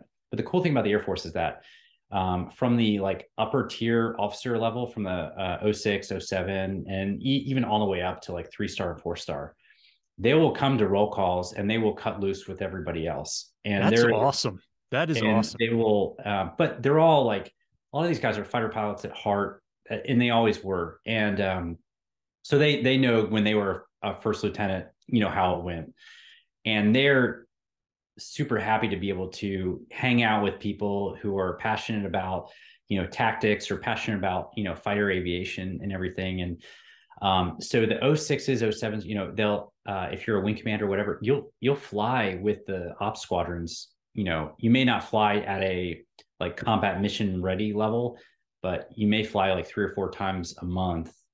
And even in combat you know we'll we had the CFAC at three star, you know, fly, you know, combat lines and stuff. So you're, um, it's it's really cool, and, and they get a taste for ROE and everything, and trying to understand it as well as like they're just they're out there, you know, doing the job, and they're they're not detached from, you know, what the captains and majors are doing.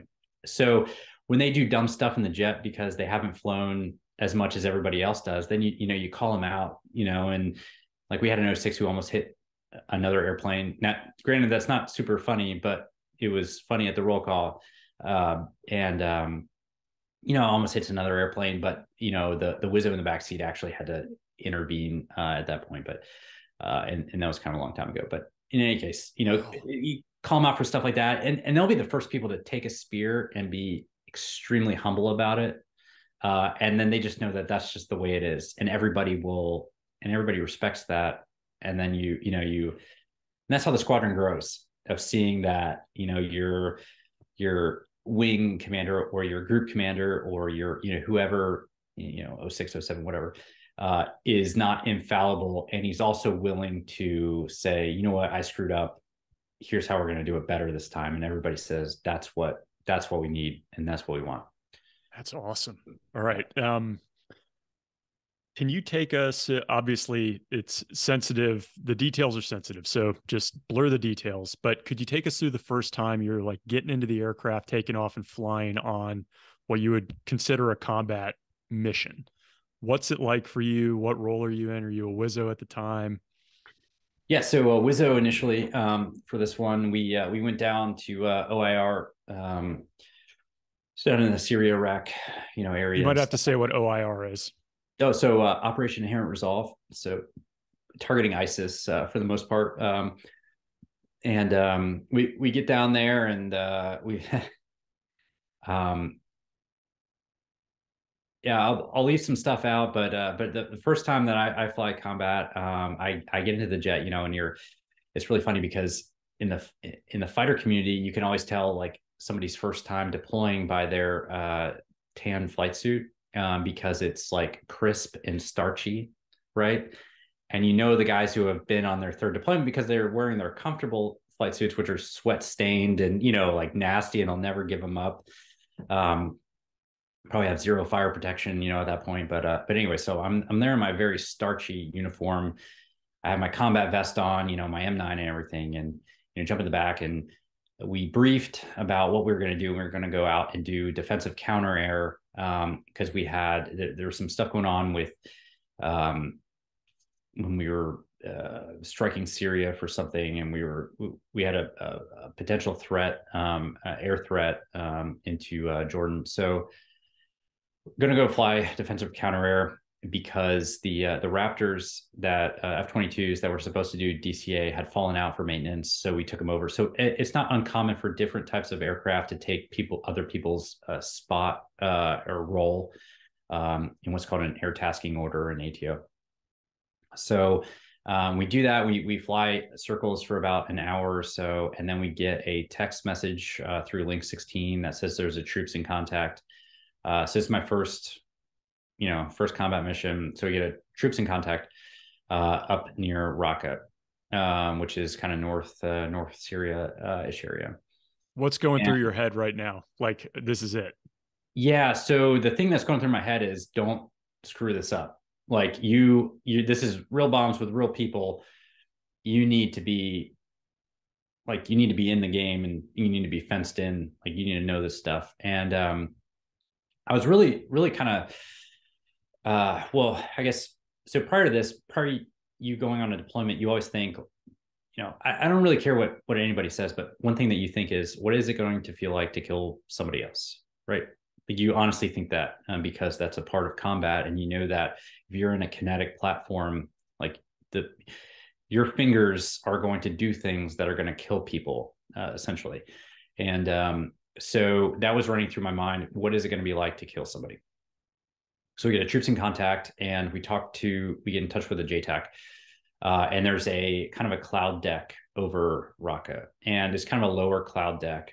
And we were not going to go uh, under the cloud deck because it would be too low to actually employ any any uh, like GPS guided weapons or anything. Um, but we're going to stay above it. And there was a RPA that was um, said that they could laze in a GBU 54, which is a laser guided 500 pound bomb that we carry. Uh, so essentially, we drop it, and then the RPA um, or MQ9 lasers it in. Uh, where, RPA being a, a drone that's yeah, a remotely piloted aircraft. Right. Yep, a drone. And um, so that we got in comms with the JTAC. They were taking fire, uh, and there was two Dishkas, and it was like four enemy packs uh, that they had narrowed down, and we um our number one air i was in the number two aircraft. The number one aircraft was going to drop and they had a bomb malfunction. So they have what's called a hung secure bomb. Uh, so they tried to press the button and the bomb didn't come off when the jtac gave them clearance.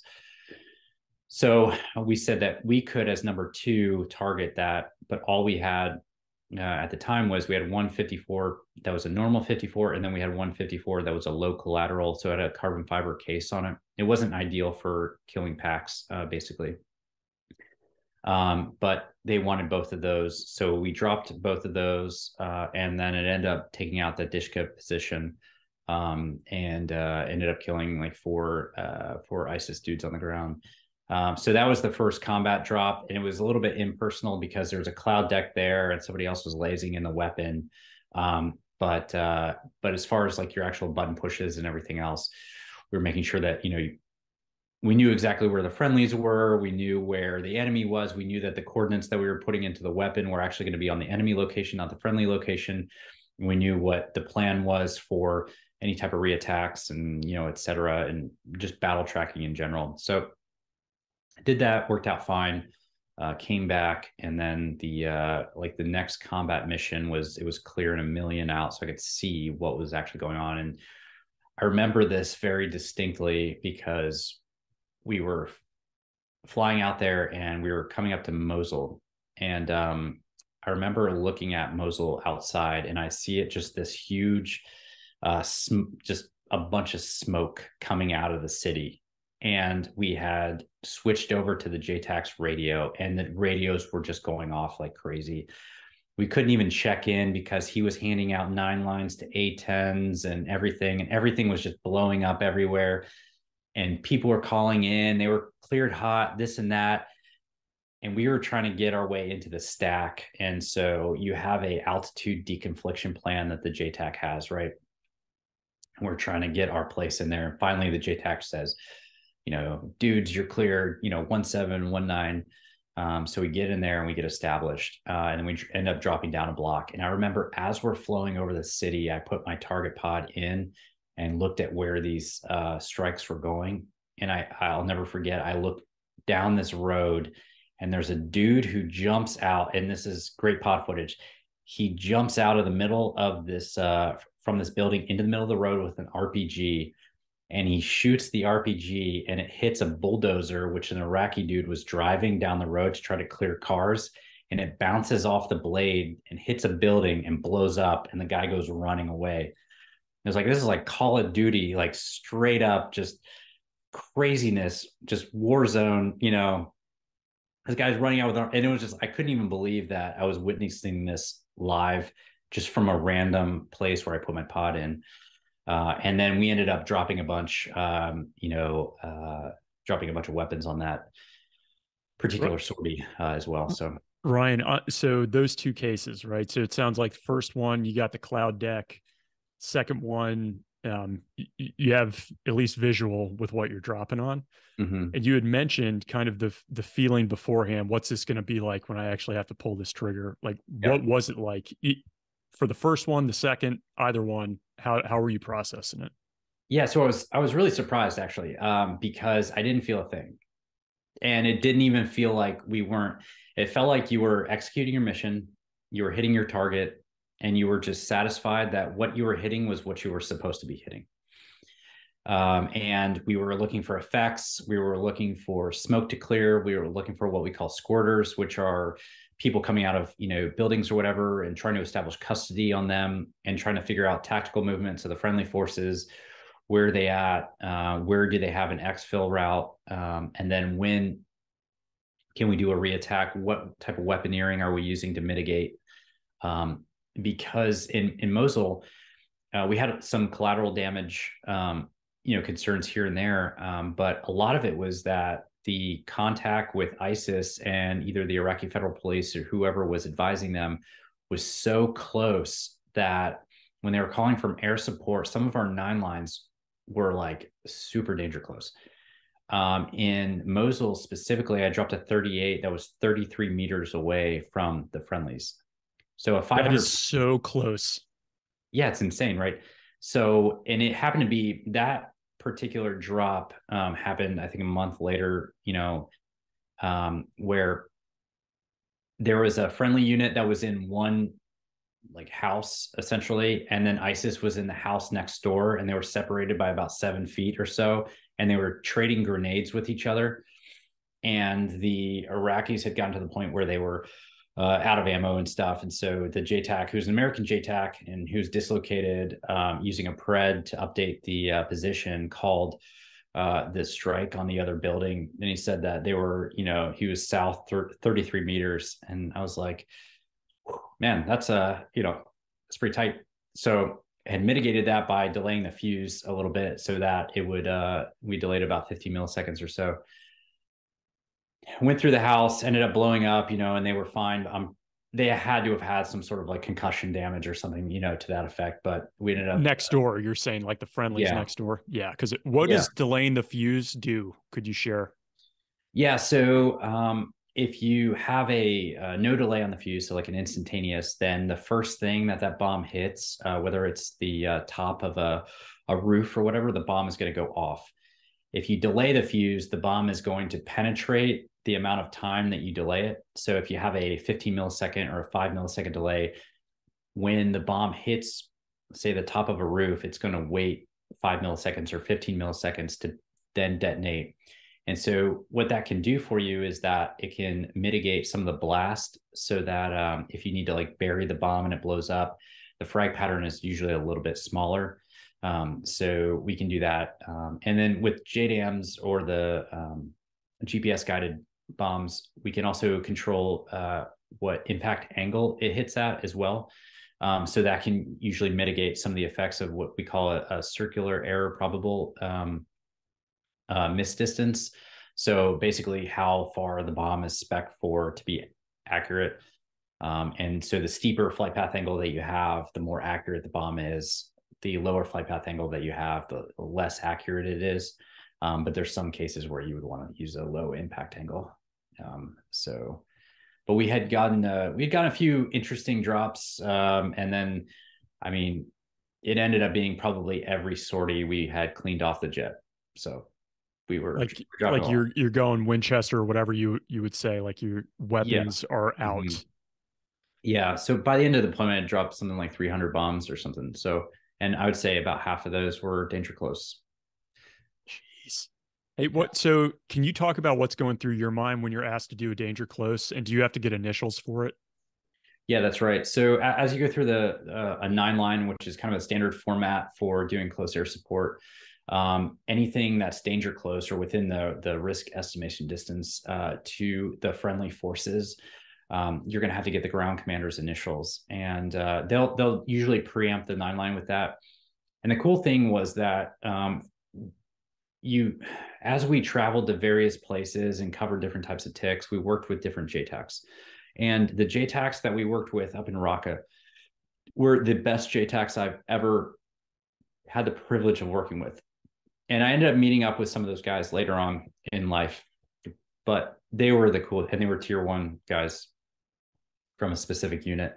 Um, and they were just awesome they were so good. And I remember being on the same shift. So we would fly lines where you kind of on the same um, uh, time, you know, pattern or whatever. And so we would be working with essentially the same guys uh, normally, so we could voice recce them, uh, and then we knew exactly, and they knew us, we knew them. They were very comfortable.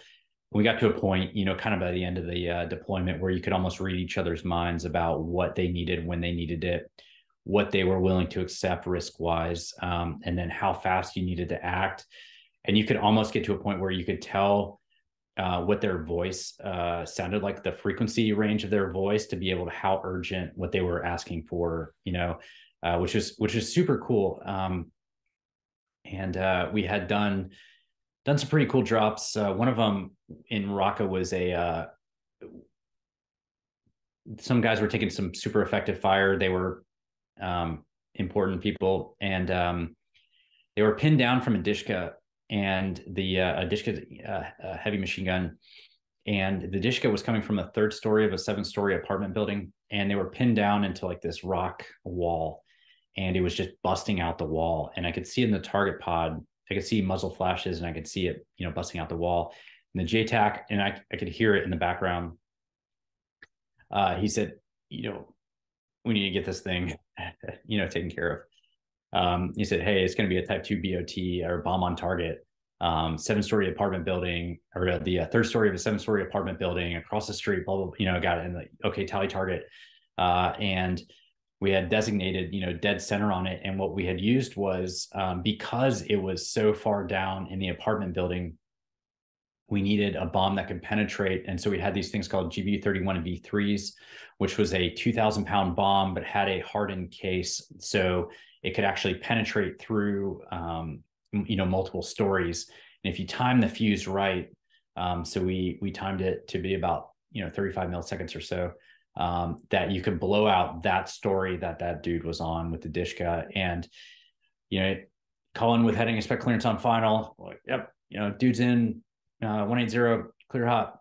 Uh, so we ended up uh, dropping and then we blew that third story out within like maybe a minute and a half or two minutes of getting that nine line. Dude. And uh, you know, it ended up working out, you know, pretty good. Um, but uh, but stuff like that, you're, you're a little hesitant to do fast because uh, guys normally, when it comes to nine lines, uh, will make mistakes when they go faster and you really want to save the day and you really want to be the guy who you know takes care of it but at the same time if you do make a mistake like you you'll never be able to take that back you know what i mean if you blow those dudes up like you can't get that bomb back Um, but what you can is you can take a couple more seconds and figure out, am I absolutely 100% sure we're visual friendlies right now? Do those coordinates make sense? And so one of the advantages of having a Wizzo in the back seat is the ability to kind of take a Zen moment real quick from not flying the jet and just focus on grids, battle tracking, where stuff is at. Um, and, and you probably know from you, you guys fly a two place, you know, hundred percent. Yep.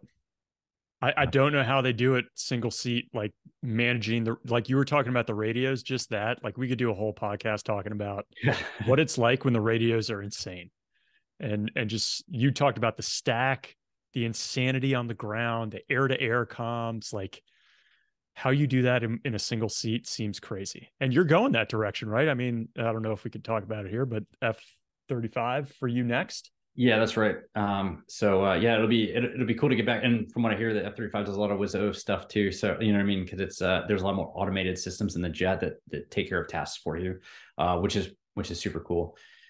Um, but yeah, so the the whole you know uh, Syria and Iraq thing was was super cool. We ended up we actually ended up shooting a AIM-120 as well um, at a uh, um, some. It was a long story, but uh, this Iranian drone was shooting at an ODA team, uh, and so we ended up uh, you know shooting it down. It was a long story. That's awesome. Yeah, I, I could probably tell you that uh, over a beer because okay. that, involves some crazy stuff. But um, the uh, so that's an air to air takedown. Yeah. Uh huh. Mm-hmm. Um. So uh. So that that was kind of cool. It was a Shahed uh, uh 129 Shahed 129 uh, drone that had these little mini uh, Hellfires on it, and um, the ROE was very hazy at the time because we had dudes who were in Syria. We weren't at war with Iran. Um, and so it's not like you can just start, you know, there it was just blasting, you know, you can't, you can't do that. Um, so we needed, in order to execute, you know, everybody has the right inherent right to self-defense and so you have a self-defense ROE that you can use, um, and uh, and so we were we we executed based on that. But but but even that's super. If there's any gray place in the world, it's Syria and Iraq as far as who's friendly, who's not, who's a gray player, who's who's shooting at you but you're not at war with, and then is that, you know, pretty pretty crazy. So you had captains um, and lieutenants that were making these strategic decisions about stuff which was nuts about whether or not to shoot down the Russians or whether or not to shoot down the Iranians or you know whatever. And um, we had one particular hairy event which um, was over uh, Deir. Uh, it was a there was a broken layer about seventeen thousand feet ish. It was kind of scattered to broken, and um, it was at night. We were supporting a troops in contact. Um, again, it was danger close, troops in contact. We were lasing in GBU-12s. And so uh, I'm kind of in the weeds on the ground and the ground, and I'm talking to the JTAC. And the front seater is working the air to air radar and he picks up a strike train of Russian fighters. And um, the Russians had. Sorry, Ryan, what's a strike train when you say that? Uh, strike just multiple Russian fighters that are headed towards, looks like they're headed to bomb something. Uh, we just you know called it a strike train or whatever. Uh, but uh, so the Russians are duking it out in Deir ez-Zor proper uh, with the Syrians against ISIS, and we're on the other side of the Euphrates River. Um, so um, you know we have guys on the ground, a Green Beret team on the ground as well. So they're you know um, so we're we're we're dealing with the troops in contact uh, with those guys, and the soft agreement with the Russians was you know they're going to stay on their side of the river. We're going to stay on our side of the river. And then this is how this is going to go down. So the russians had started dropping weapons from these things called su-34 uh, fullbacks. And they were kind of they i feel like i, I don't want to judge them because i'm not in their cockpit but i feel like they were super smart uh, because they were using max ab at night which is illuminating where their aircraft is at, to uh, ISIS, who's shooting AAA at them with 57 millimeter anti aircraft fire. So we're starting to see airburst AAA kind of near and around our position, which we don't want, you know. Um, and these Russian guys are are starting to drop unguided weapons, and the unguided weapons are not staying on their side of the river. They're dropping them on their side of the river, but they're going on our side. And we start to see explosions from the Russians uh, near our guys, and they were about 600 meters away from our U.S. team. So we're trying to figure out: Are the Russians? Did the Russians just start like World War III? Are they trying to bomb our position? And um, the JTAC, uh, you know, he's working super hard with his own stuff, but he just hears explosions going off, but he's not sure who those are. There's an AC 130 in the stack uh, as well. And the JTAC has no idea about the Russians at all, that the Russians are there. And the Russians, like, he's not talking to them on the radio. So they're not minding the deconfliction plan for the stack. They're just flowing right through. They don't care, you know? So we're looking out for them. And uh, so they start dropping closer to the US position. And so we're trying to make a decision. And here we are, just, you know, some dumb captains. And we're like, hey, listen, like, are we going to have to toast these Russian guys? You know, we to shoot these guys down or what? And um, so we're we're having this conversation in the jet.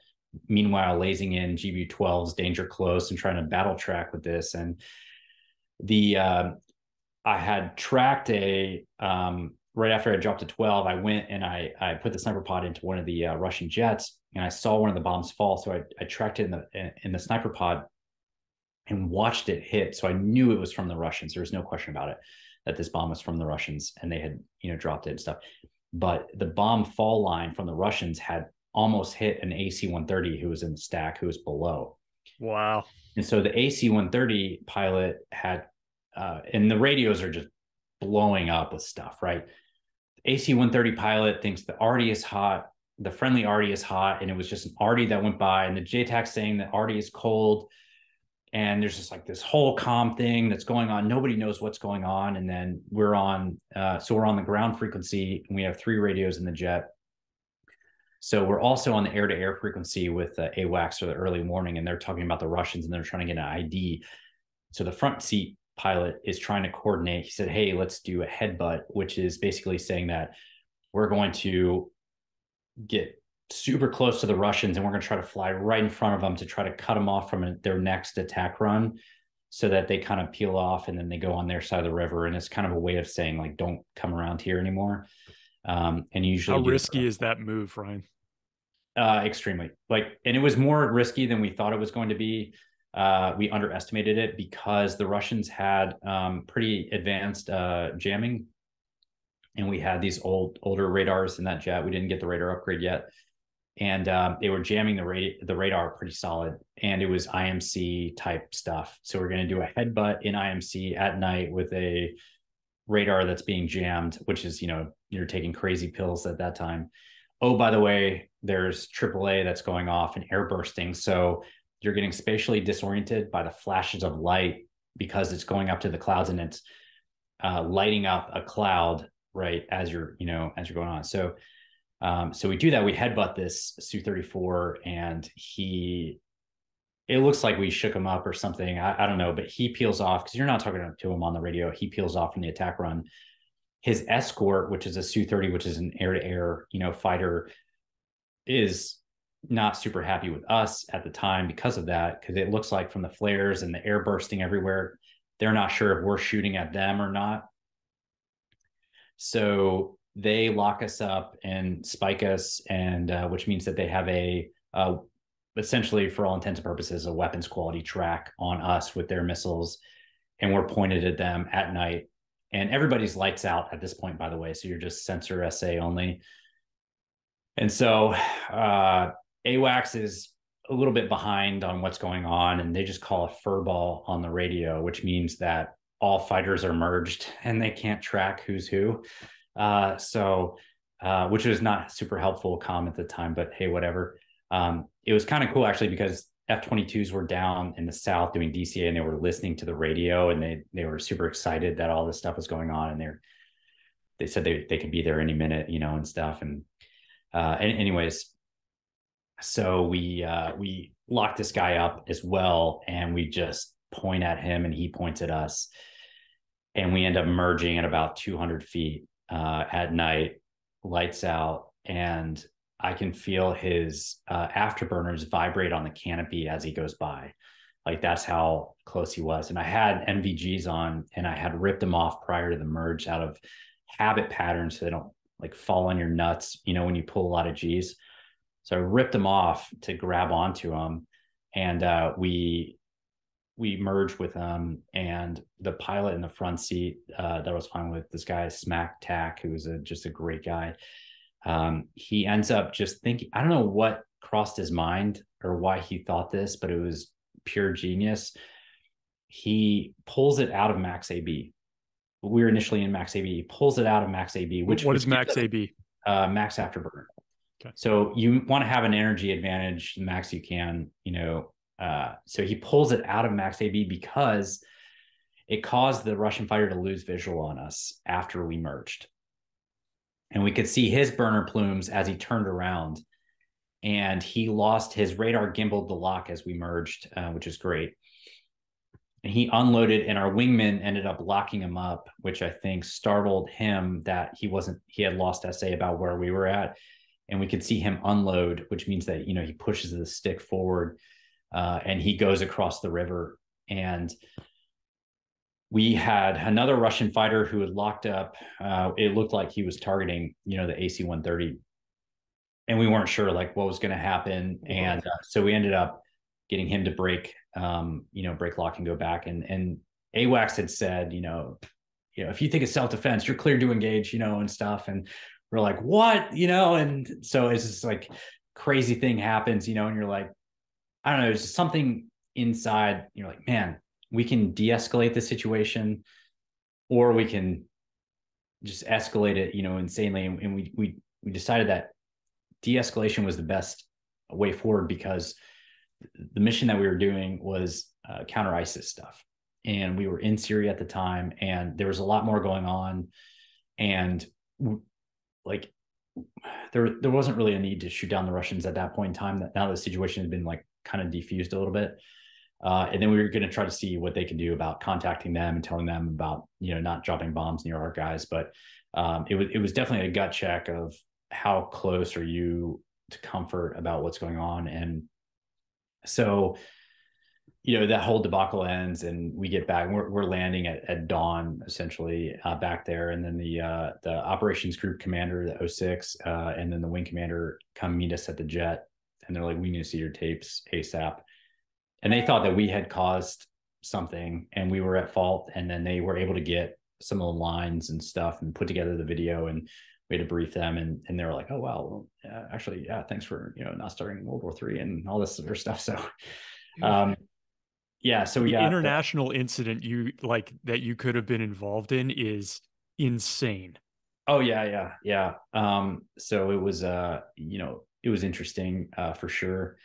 Um, but we had we'd also you know popped the cherry when we shot down the uh the Iranian drone. Um, so that was like the first air to air um, it was the first air-to-air AMRAAM employment of the Strike Eagle, um, and uh, that that whole story was kind of weird um, how it all happened, and uh, we ended up. Um, well, it, it, was cool because you know you shoot an AMRAAM which is cool, you know. Uh, but uh, anyways, you blow something up that's live with a live warhead in the air, and it's cool because it you know blows up everywhere and stuff. And um, anyways, that that instance had happened where um, you know dudes were taking fire on the ground. They had taken a, a Iranian Hellfire to uh, one of their vehicles, and it had dudded surprisingly.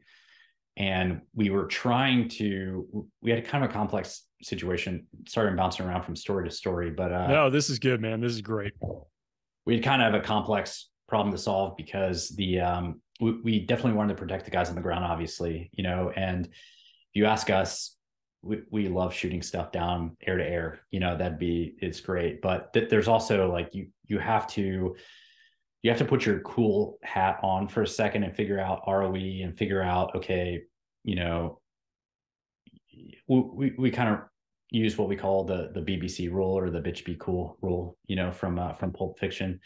Uh, and so you tone down and you think to yourself, um, okay, what exactly is going on and am i going to make a super rash decision that i can't take back? No i need to act.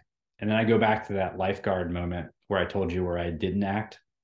You think is inaction going to get somebody killed right now or is inaction going to be the problem?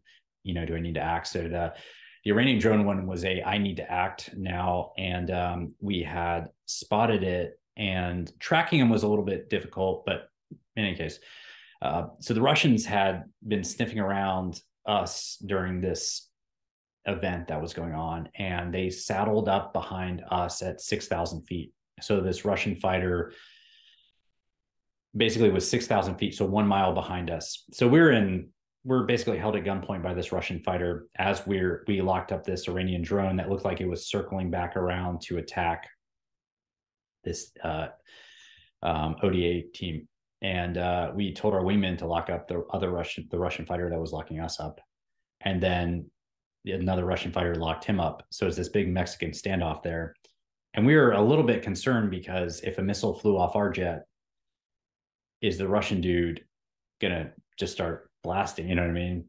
And last thing we want to do is, you know, get burned alive in a cage or something like that uh, from having to eject. You know, and Ryan, uh, is that a discussion you have in the cockpit before you pull the trigger? Uh, sort of. Uh, we, I, I feel like we're we're more we're a little bit more on the same page about. Um, I don't know. I I think I was a little bit more leaning forward about we need to do this like right now, uh, and we actually have to shoot this thing right now, and there's no question about it. Um, so uh, we ended up uh, getting into a position where we, we were also concerned that the thing was going to blow up, and it was going to rain down a bunch of hot debris over this ODA team, which is going to be the equivalent of, you know, it, it wasn't going to be good. So we had to kind of wait or line our geometry up to where we could shoot it down, but it was going to fall into the desert without get without it getting into a weapons employment zone for its hellfires. It is kind of hard to explain but uh, so we try to make it happen. And then so taxi 2 comes on the radio and says um, don't engage and we're like uh i think we're going to do it anyway and they're like nope don't do it and uh, we are like well why not and uh, so like yeah we're you know we're, we're working something else uh, is that the AWACS? Is that taxi? Uh, it, it, it was, yeah. And then we had, we, we had some other assets around and, um, we, we said, well, whatever you're doing is not working. So like, we're going to shoot this thing. And so we decided, we had an inner cockpit conversation. We said, you know what, this falls under self-defense ROE, screw it. Master arm hot, you know? And so, um, you know, we end up shooting this thing and, you know, we call it a splash and everything. Uh, and, um, anyways, uh, there, there's more to that story, you know, on the way back um, that I, I, will definitely tell you over a beer. But uh, as we're getting back, we're, we're bingo, super bingo. We're on our second bingo, which you're only allowed to have one bingo. You know, uh, we're almost out bingo. of fuel, right? Yeah, exactly. Super out of fuel, like emergency divert profile gas. You know, and we get back, and I remember distinctly landing and taxiing to what we call EOR, which is the end of the runway where we have de-arm crews that de-arm all the weapons for you while you're running before you shut down. And um, I remember them looking up at the wing pylon and seeing that there was an AMRAAM missing. And they were just, they thought, you could tell on their face, they thought it had fallen off or something like that. They had no idea that it had been shot off. They, they thought that they screwed up somehow and it just like came off the rail and landed in the middle of the desert, right? So uh, they, we told them, no, no, no, it was fine. It worked fine, you know, and um, they uh anyways taxi back to the ramp you know and and it was all good all good from there. Uh, but I, I, do remember the so whenever you shoot an AMRAAM uh, the jet has a little delay to it where it sends a uh, built-in test uh, to the AMRAAM and it takes about a second for it to come off the rail after you press the pickle button. And i remember uh, you know the pickle button being pressed uh, in the front cockpit and um, i remember looking at the pylon and thinking I can't believe it. That dumb AMRAAM isn't going to work. That, you know, and had all these thoughts about it. And then it just flew off the rail, you know, it's like, okay, cool. I guess it works. Um, so, uh, so that was that. And, um, you know, we end up, you know, going back and, and, uh, talking about it and everything. And, uh, there were some things that went wrong, uh, during the whole entire engagement. Uh, and then some things that went right. Um, but it was a big learning experience, I think, for, for everybody overall. So, how'd you feel about it that night? Like when you finally got to like done with the AAR, however you discussed a debrief, you're in your, I don't know where you're based at the time, doesn't matter. Like you go back to your bed. how are you thinking about that night? Like you almost uh, you air to air shoot down Iranian um, aircraft that took a shot on an ODA team, Russians tailing you, the chaos on the radio, like what's going through your head uh, as you try to get to sleep? Yeah. So honestly, uh, as we came back, and, and, normally we we actually land and we I remember debriefing this because uh, we you know the one of the things about the fire community is you always debrief everything that you do uh, in detail. And I remember we had a couple lawn chairs out by this tree, and that was like our debrief spot, which is you know not super secure, I guess, but um, we uh, we talked about it, and I just remember being so disappointed in myself and disappointed in us for not acting quicker. And I was really mad that the Iranian had taken that shot at him because our mission was defensive counter air. And uh, like we were we were responsible for protecting those guys.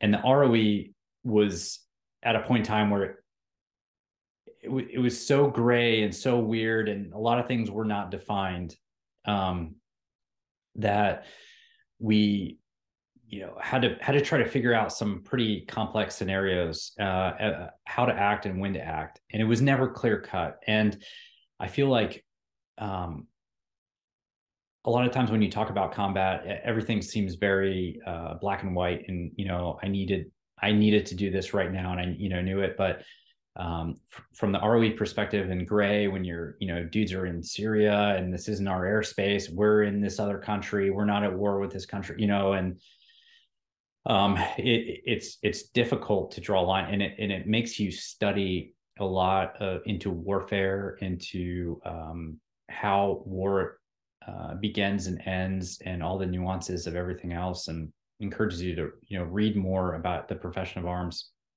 and be better so that when you're a leader you can offer more clear guidance to people and get them to understand. And so as, as, i was you know going to sleep that night i was i was a little bit more disappointed in everything. And uh, we ended up um, getting a dfc uh, for that. Um, but it was never like a, a I don't know. I, I always felt like we could have done it a lot better you know? Um, so I, mean, I, can't, I can't imagine a scenario in that fog of war where you could have taken a shot before it fired the first hellfire unless you knew it was about to fire like given the the international geopolitical stakes at play.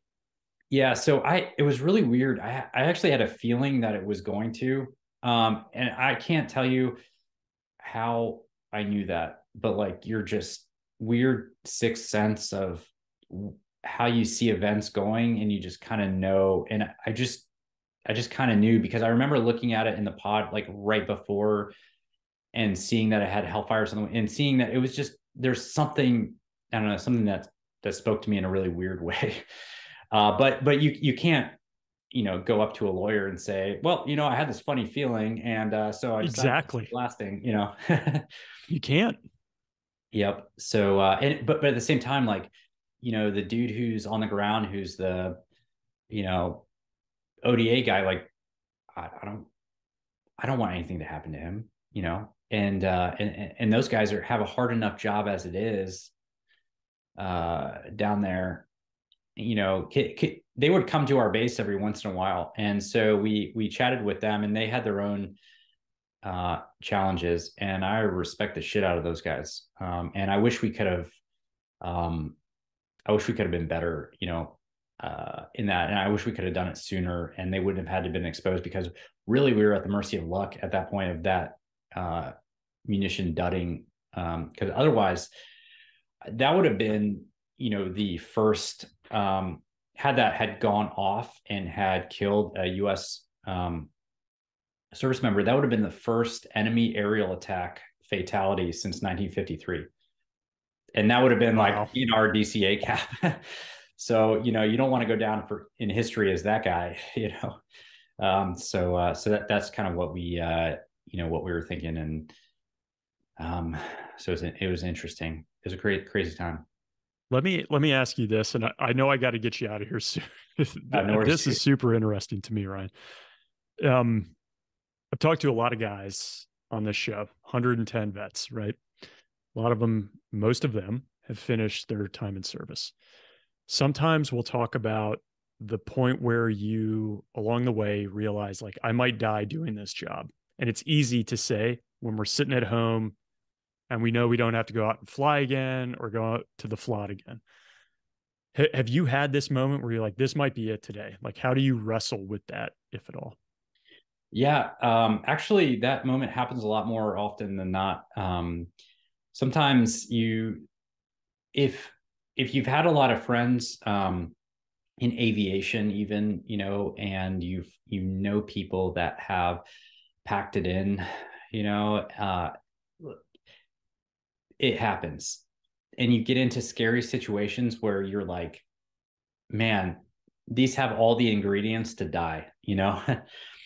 and I've been way more concerned on that um, on a training level than I have um, or during training in like sketchy weather or you know in the mountains, uh, pitch black on NVGs or you know whatnot than I have in combat because I remember some combat stuff. And I remember specifically you know strafing. And I remember looking in the target pod and the dude had a ZPU in the back of a truck and he was shooting up at us. And we were strafing and I was like, huh, that's what it looks like when someone's shooting at you. Totally, you know, didn't didn't really think too much of it. And similarly with you know AAA stuff, you know, oh, that's what AAA actually looks like. Hmm. You know, no, never thought any of that you know would actually happen. But then some of the training stuff, you get in and you know, especially and you've seen this right when you get into you know uh, icy weather, shooting instrument approaches with degraded systems, uh, et cetera. And you're like, man, this reads like a safety board investigation. Like this is how this starts because you've heard hundreds of safety briefs, hundred, read a bunch of investigations where dudes have hit a mountain because they had low SA or had um, you know otherwise packed it in or hit another aircraft or whatnot because it was a momentary lapse in judgment. And when you're strapping into the jet and you're you're like, man, I am totally aware that I am not the smartest person in the entire world, and any of these uh, lapses of judgment could happen today. Um, I, I actually think that quite a lot. That hey, this might be the last time that I ever strap into this jet. Um, and uh, you know, I, I know that's kind of dark uh, to say, but dude, I, I've uh, I've definitely I feel like I've used up my share of luck in life uh, from flying stuff. So, so sooner or later, something's going to happen, you know? Man, eh, I mean, just before we started, like you, you talked about, you know, tucking your kid in at night, you know, so yeah. it's easy to sit here when my work is I log into a computer in the morning. I just know how hard it is what you're doing, man. So, um, I'm just, I mean, I'm jealous there's a big part of me that's jealous that you're doing this, like the roll call, like being out there. Just the fact that you're in this air war, like there are going to be people looking at you like, oh my God, look at what the, what Ryan did. That's awesome. But at the same time, like I know the thoughts that go through the, through your head and and how you make it day to day and with the family. It's no joke. Yeah, the the um, that whole perspective on the deployment and stuff was was kind of surreal because we went back and then uh, after that i got picked up for pilot training so i had to go through the whole training pipeline again uh, and then it was it was really weird because you you you get into the training portion of the air force where there's like zero combat experience and you're just i mean i was fresh from all this stuff. So you're talking to people who don't necessarily understand you know what goes on or what decisions that you had to make. And like I, I remember one particular event where we had been responsible for doing what's called NTISR or non-traditional um, uh, intelligence and reconnaissance or whatever surveillance and reconnaissance. And um, we were looking for VBIDs or vehicle borne IEDs and um, it was in Mosul and I saw a garage door open on a house. And it was like a minivan roll out and the minivan looked kind of low, but it didn't look too crazy. And um, I just had a weird sense that I think that was a VBID. And um, so I told the JTAC, hey, I got a six digit grid to the next intersection, possible VBID. And I see it speed up. And then um, the JTAC starts copying down the grid. And the car goes down a ditch and then goes around to a Iraqi convoy of dudes who are just standing out in the middle and smoking and joking and stuff. And it just blows up within this all happened within about 30 seconds. And it was like, holy shit. And we couldn't have, there's no way we could have even rolled in and dropped the bomb. No way. Much less gotten a nine line and gotten clearance because the time of fall of the weapon versus everything, it just had happened super quick. And I remember watching it, it went off like a 2000 pound bomb, you know, and dudes, the guys who were standing next, it was these standing next to these Iraqi Hummers. And I, I remember distinctly seeing this car in the pod, you know, driving toward, and they just split. I mean, they just started running, blew up, you know, and the radios who were crazy um, at the time just went silent. And um, it was just like everybody just paused for a second, knew, kind of knew what had happened. Um, and then we had, um, you know, made it kind of a big deal to figure out some TTPs to be able to target VBIDs quicker. Um, but then we had some other real, real hard decisions to make because some of the VBIDs look like refugee vehicles that were leaving the city. So then you have a certain amount of time where you're like, well, are you going to target this thing or not? Is it going to be a refugee vehicle or is it going to be a VBID?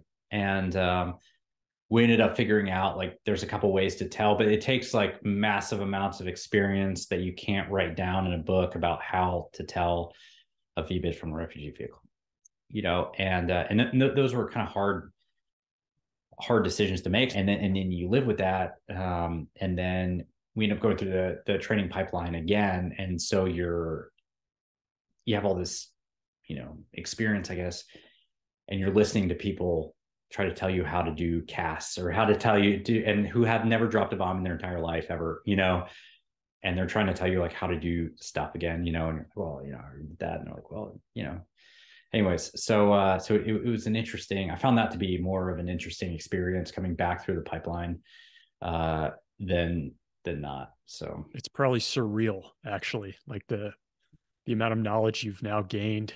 Um, so, Ryan, just before we break here, um, sure. what you you very quickly mentioned the merge. You just yeah. talk a little bit more about uh, what you do there. Uh, well, I don't really do much anymore uh, with it, but uh, my buddy Paco Benitez, the the grumpy patch that I told you about before, uh, runs it. He's an incredibly smart dude. Uh, it's a defense newsletter um, that uh, just tries to make sense of like defense stuff, especially acquisition related decisions, and fill everybody in on you know what's going on as far as kind of the inside baseball on defense. which is really helpful to people who are nerding out and or in that community or whatnot. So it's the the merge.co. Um, you sign up for the newsletter. He also runs a podcast called The Merge. Um, so we uh, every once in a while um, he'll get some pretty interesting people on there and, and chat and stuff. But uh, yeah, awesome. Okay, so you've seen this podcast before. Two questions I try to ask everybody.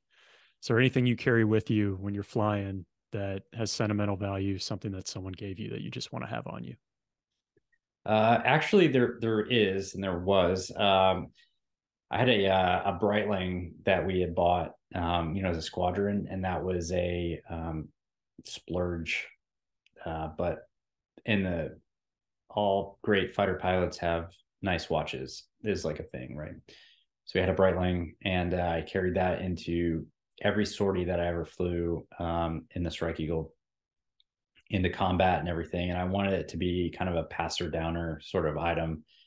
Um, and also, it's helpful because if you do get shot down somewhere, at least you have an expensive watch that you can try to buy your way out, you know, somewhere. So, uh, uh, but yeah, that's that's what I carried for the most part. You still got it.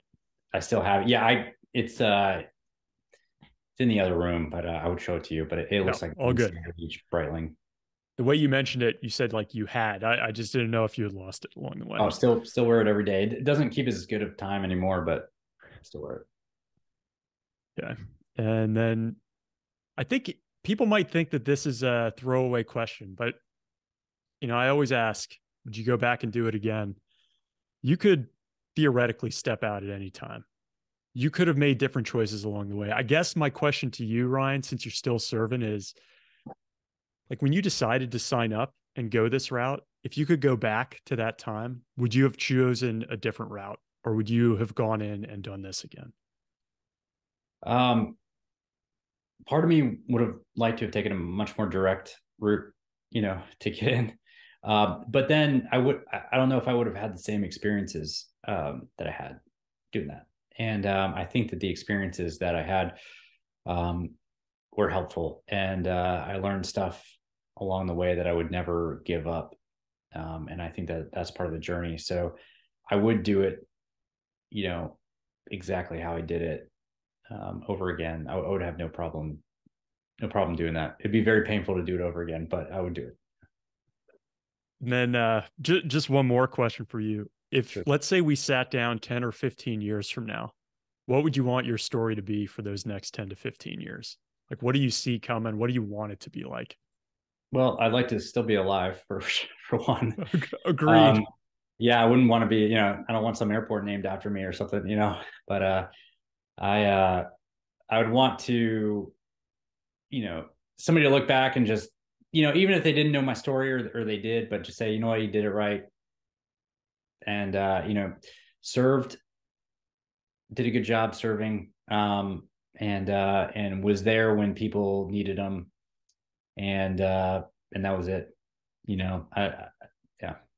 Do you still want to be like do you think you'll be in the air force 15 years from now? And you don't have to answer if uh if you feel like it's years, yeah that's long. so uh yeah I've, I've been in like 12 so far so um i think i you know i don't think 15 years maybe I, I think maybe you know maybe push it out to you know eight more years or something but but yeah who, knows man Ryan, this was this was super fun. Like I I love nerding out on the aviation stuff. I think people are going to really appreciate the decision making challenges that you faced. Uh, I don't think people really realize what that's like. And over the air, like just over the ground there in Syria, Iraq, those decisions are just incredible to hear. So thanks so much, man, for for taking the time for this.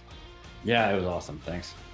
I hope you enjoyed that combat story as much as I did. Jumping into some listener comments here. First is from Frank4871 on YouTube, and he's talking about the Steve Lapping interview. If you recall, Steve Lapping's a longtime 160th um, AH and MH6 pilot. And he says, Remember the wrist worn Garmin GPSs they gave us?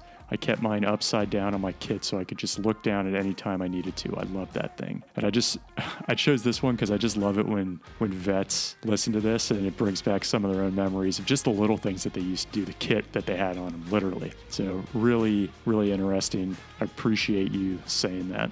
The next one is from Hamsta9578 on YouTube. It's uh, about the the Wiz um, interview, right? So talking to FA 18 Matt Wiz Buckley. He says, Ryan, dang, captivating, engaging, enjoyable, informative, and powerful as always. And then he goes on to say, and this is a little more somber but important. He says, Having lost one of my deepest, best friends to suicide a few years ago was a game changer. It's very well managed now, but I still kick my own butt for not seeing the horizon more clearly, not doing even more, not putting everything on hold to help her. High performance, high pressure, world champion athlete. When it happened, I compartmentalized and tapped a few bad habits until I pulled myself up by the bootstraps and engaged proper self help. One of the recurring themes we see in your interviews, as we did with Wiz, is how special ops operators and critical mission aviators are truly hardwired with the ethos of commitment, loyalty, service before self, and never quit. Thanks for sharing that. I know, I mean, just reading it, I can tell how emotional and tough it is. So thank you for sharing. And I'm glad that it comes through here. And,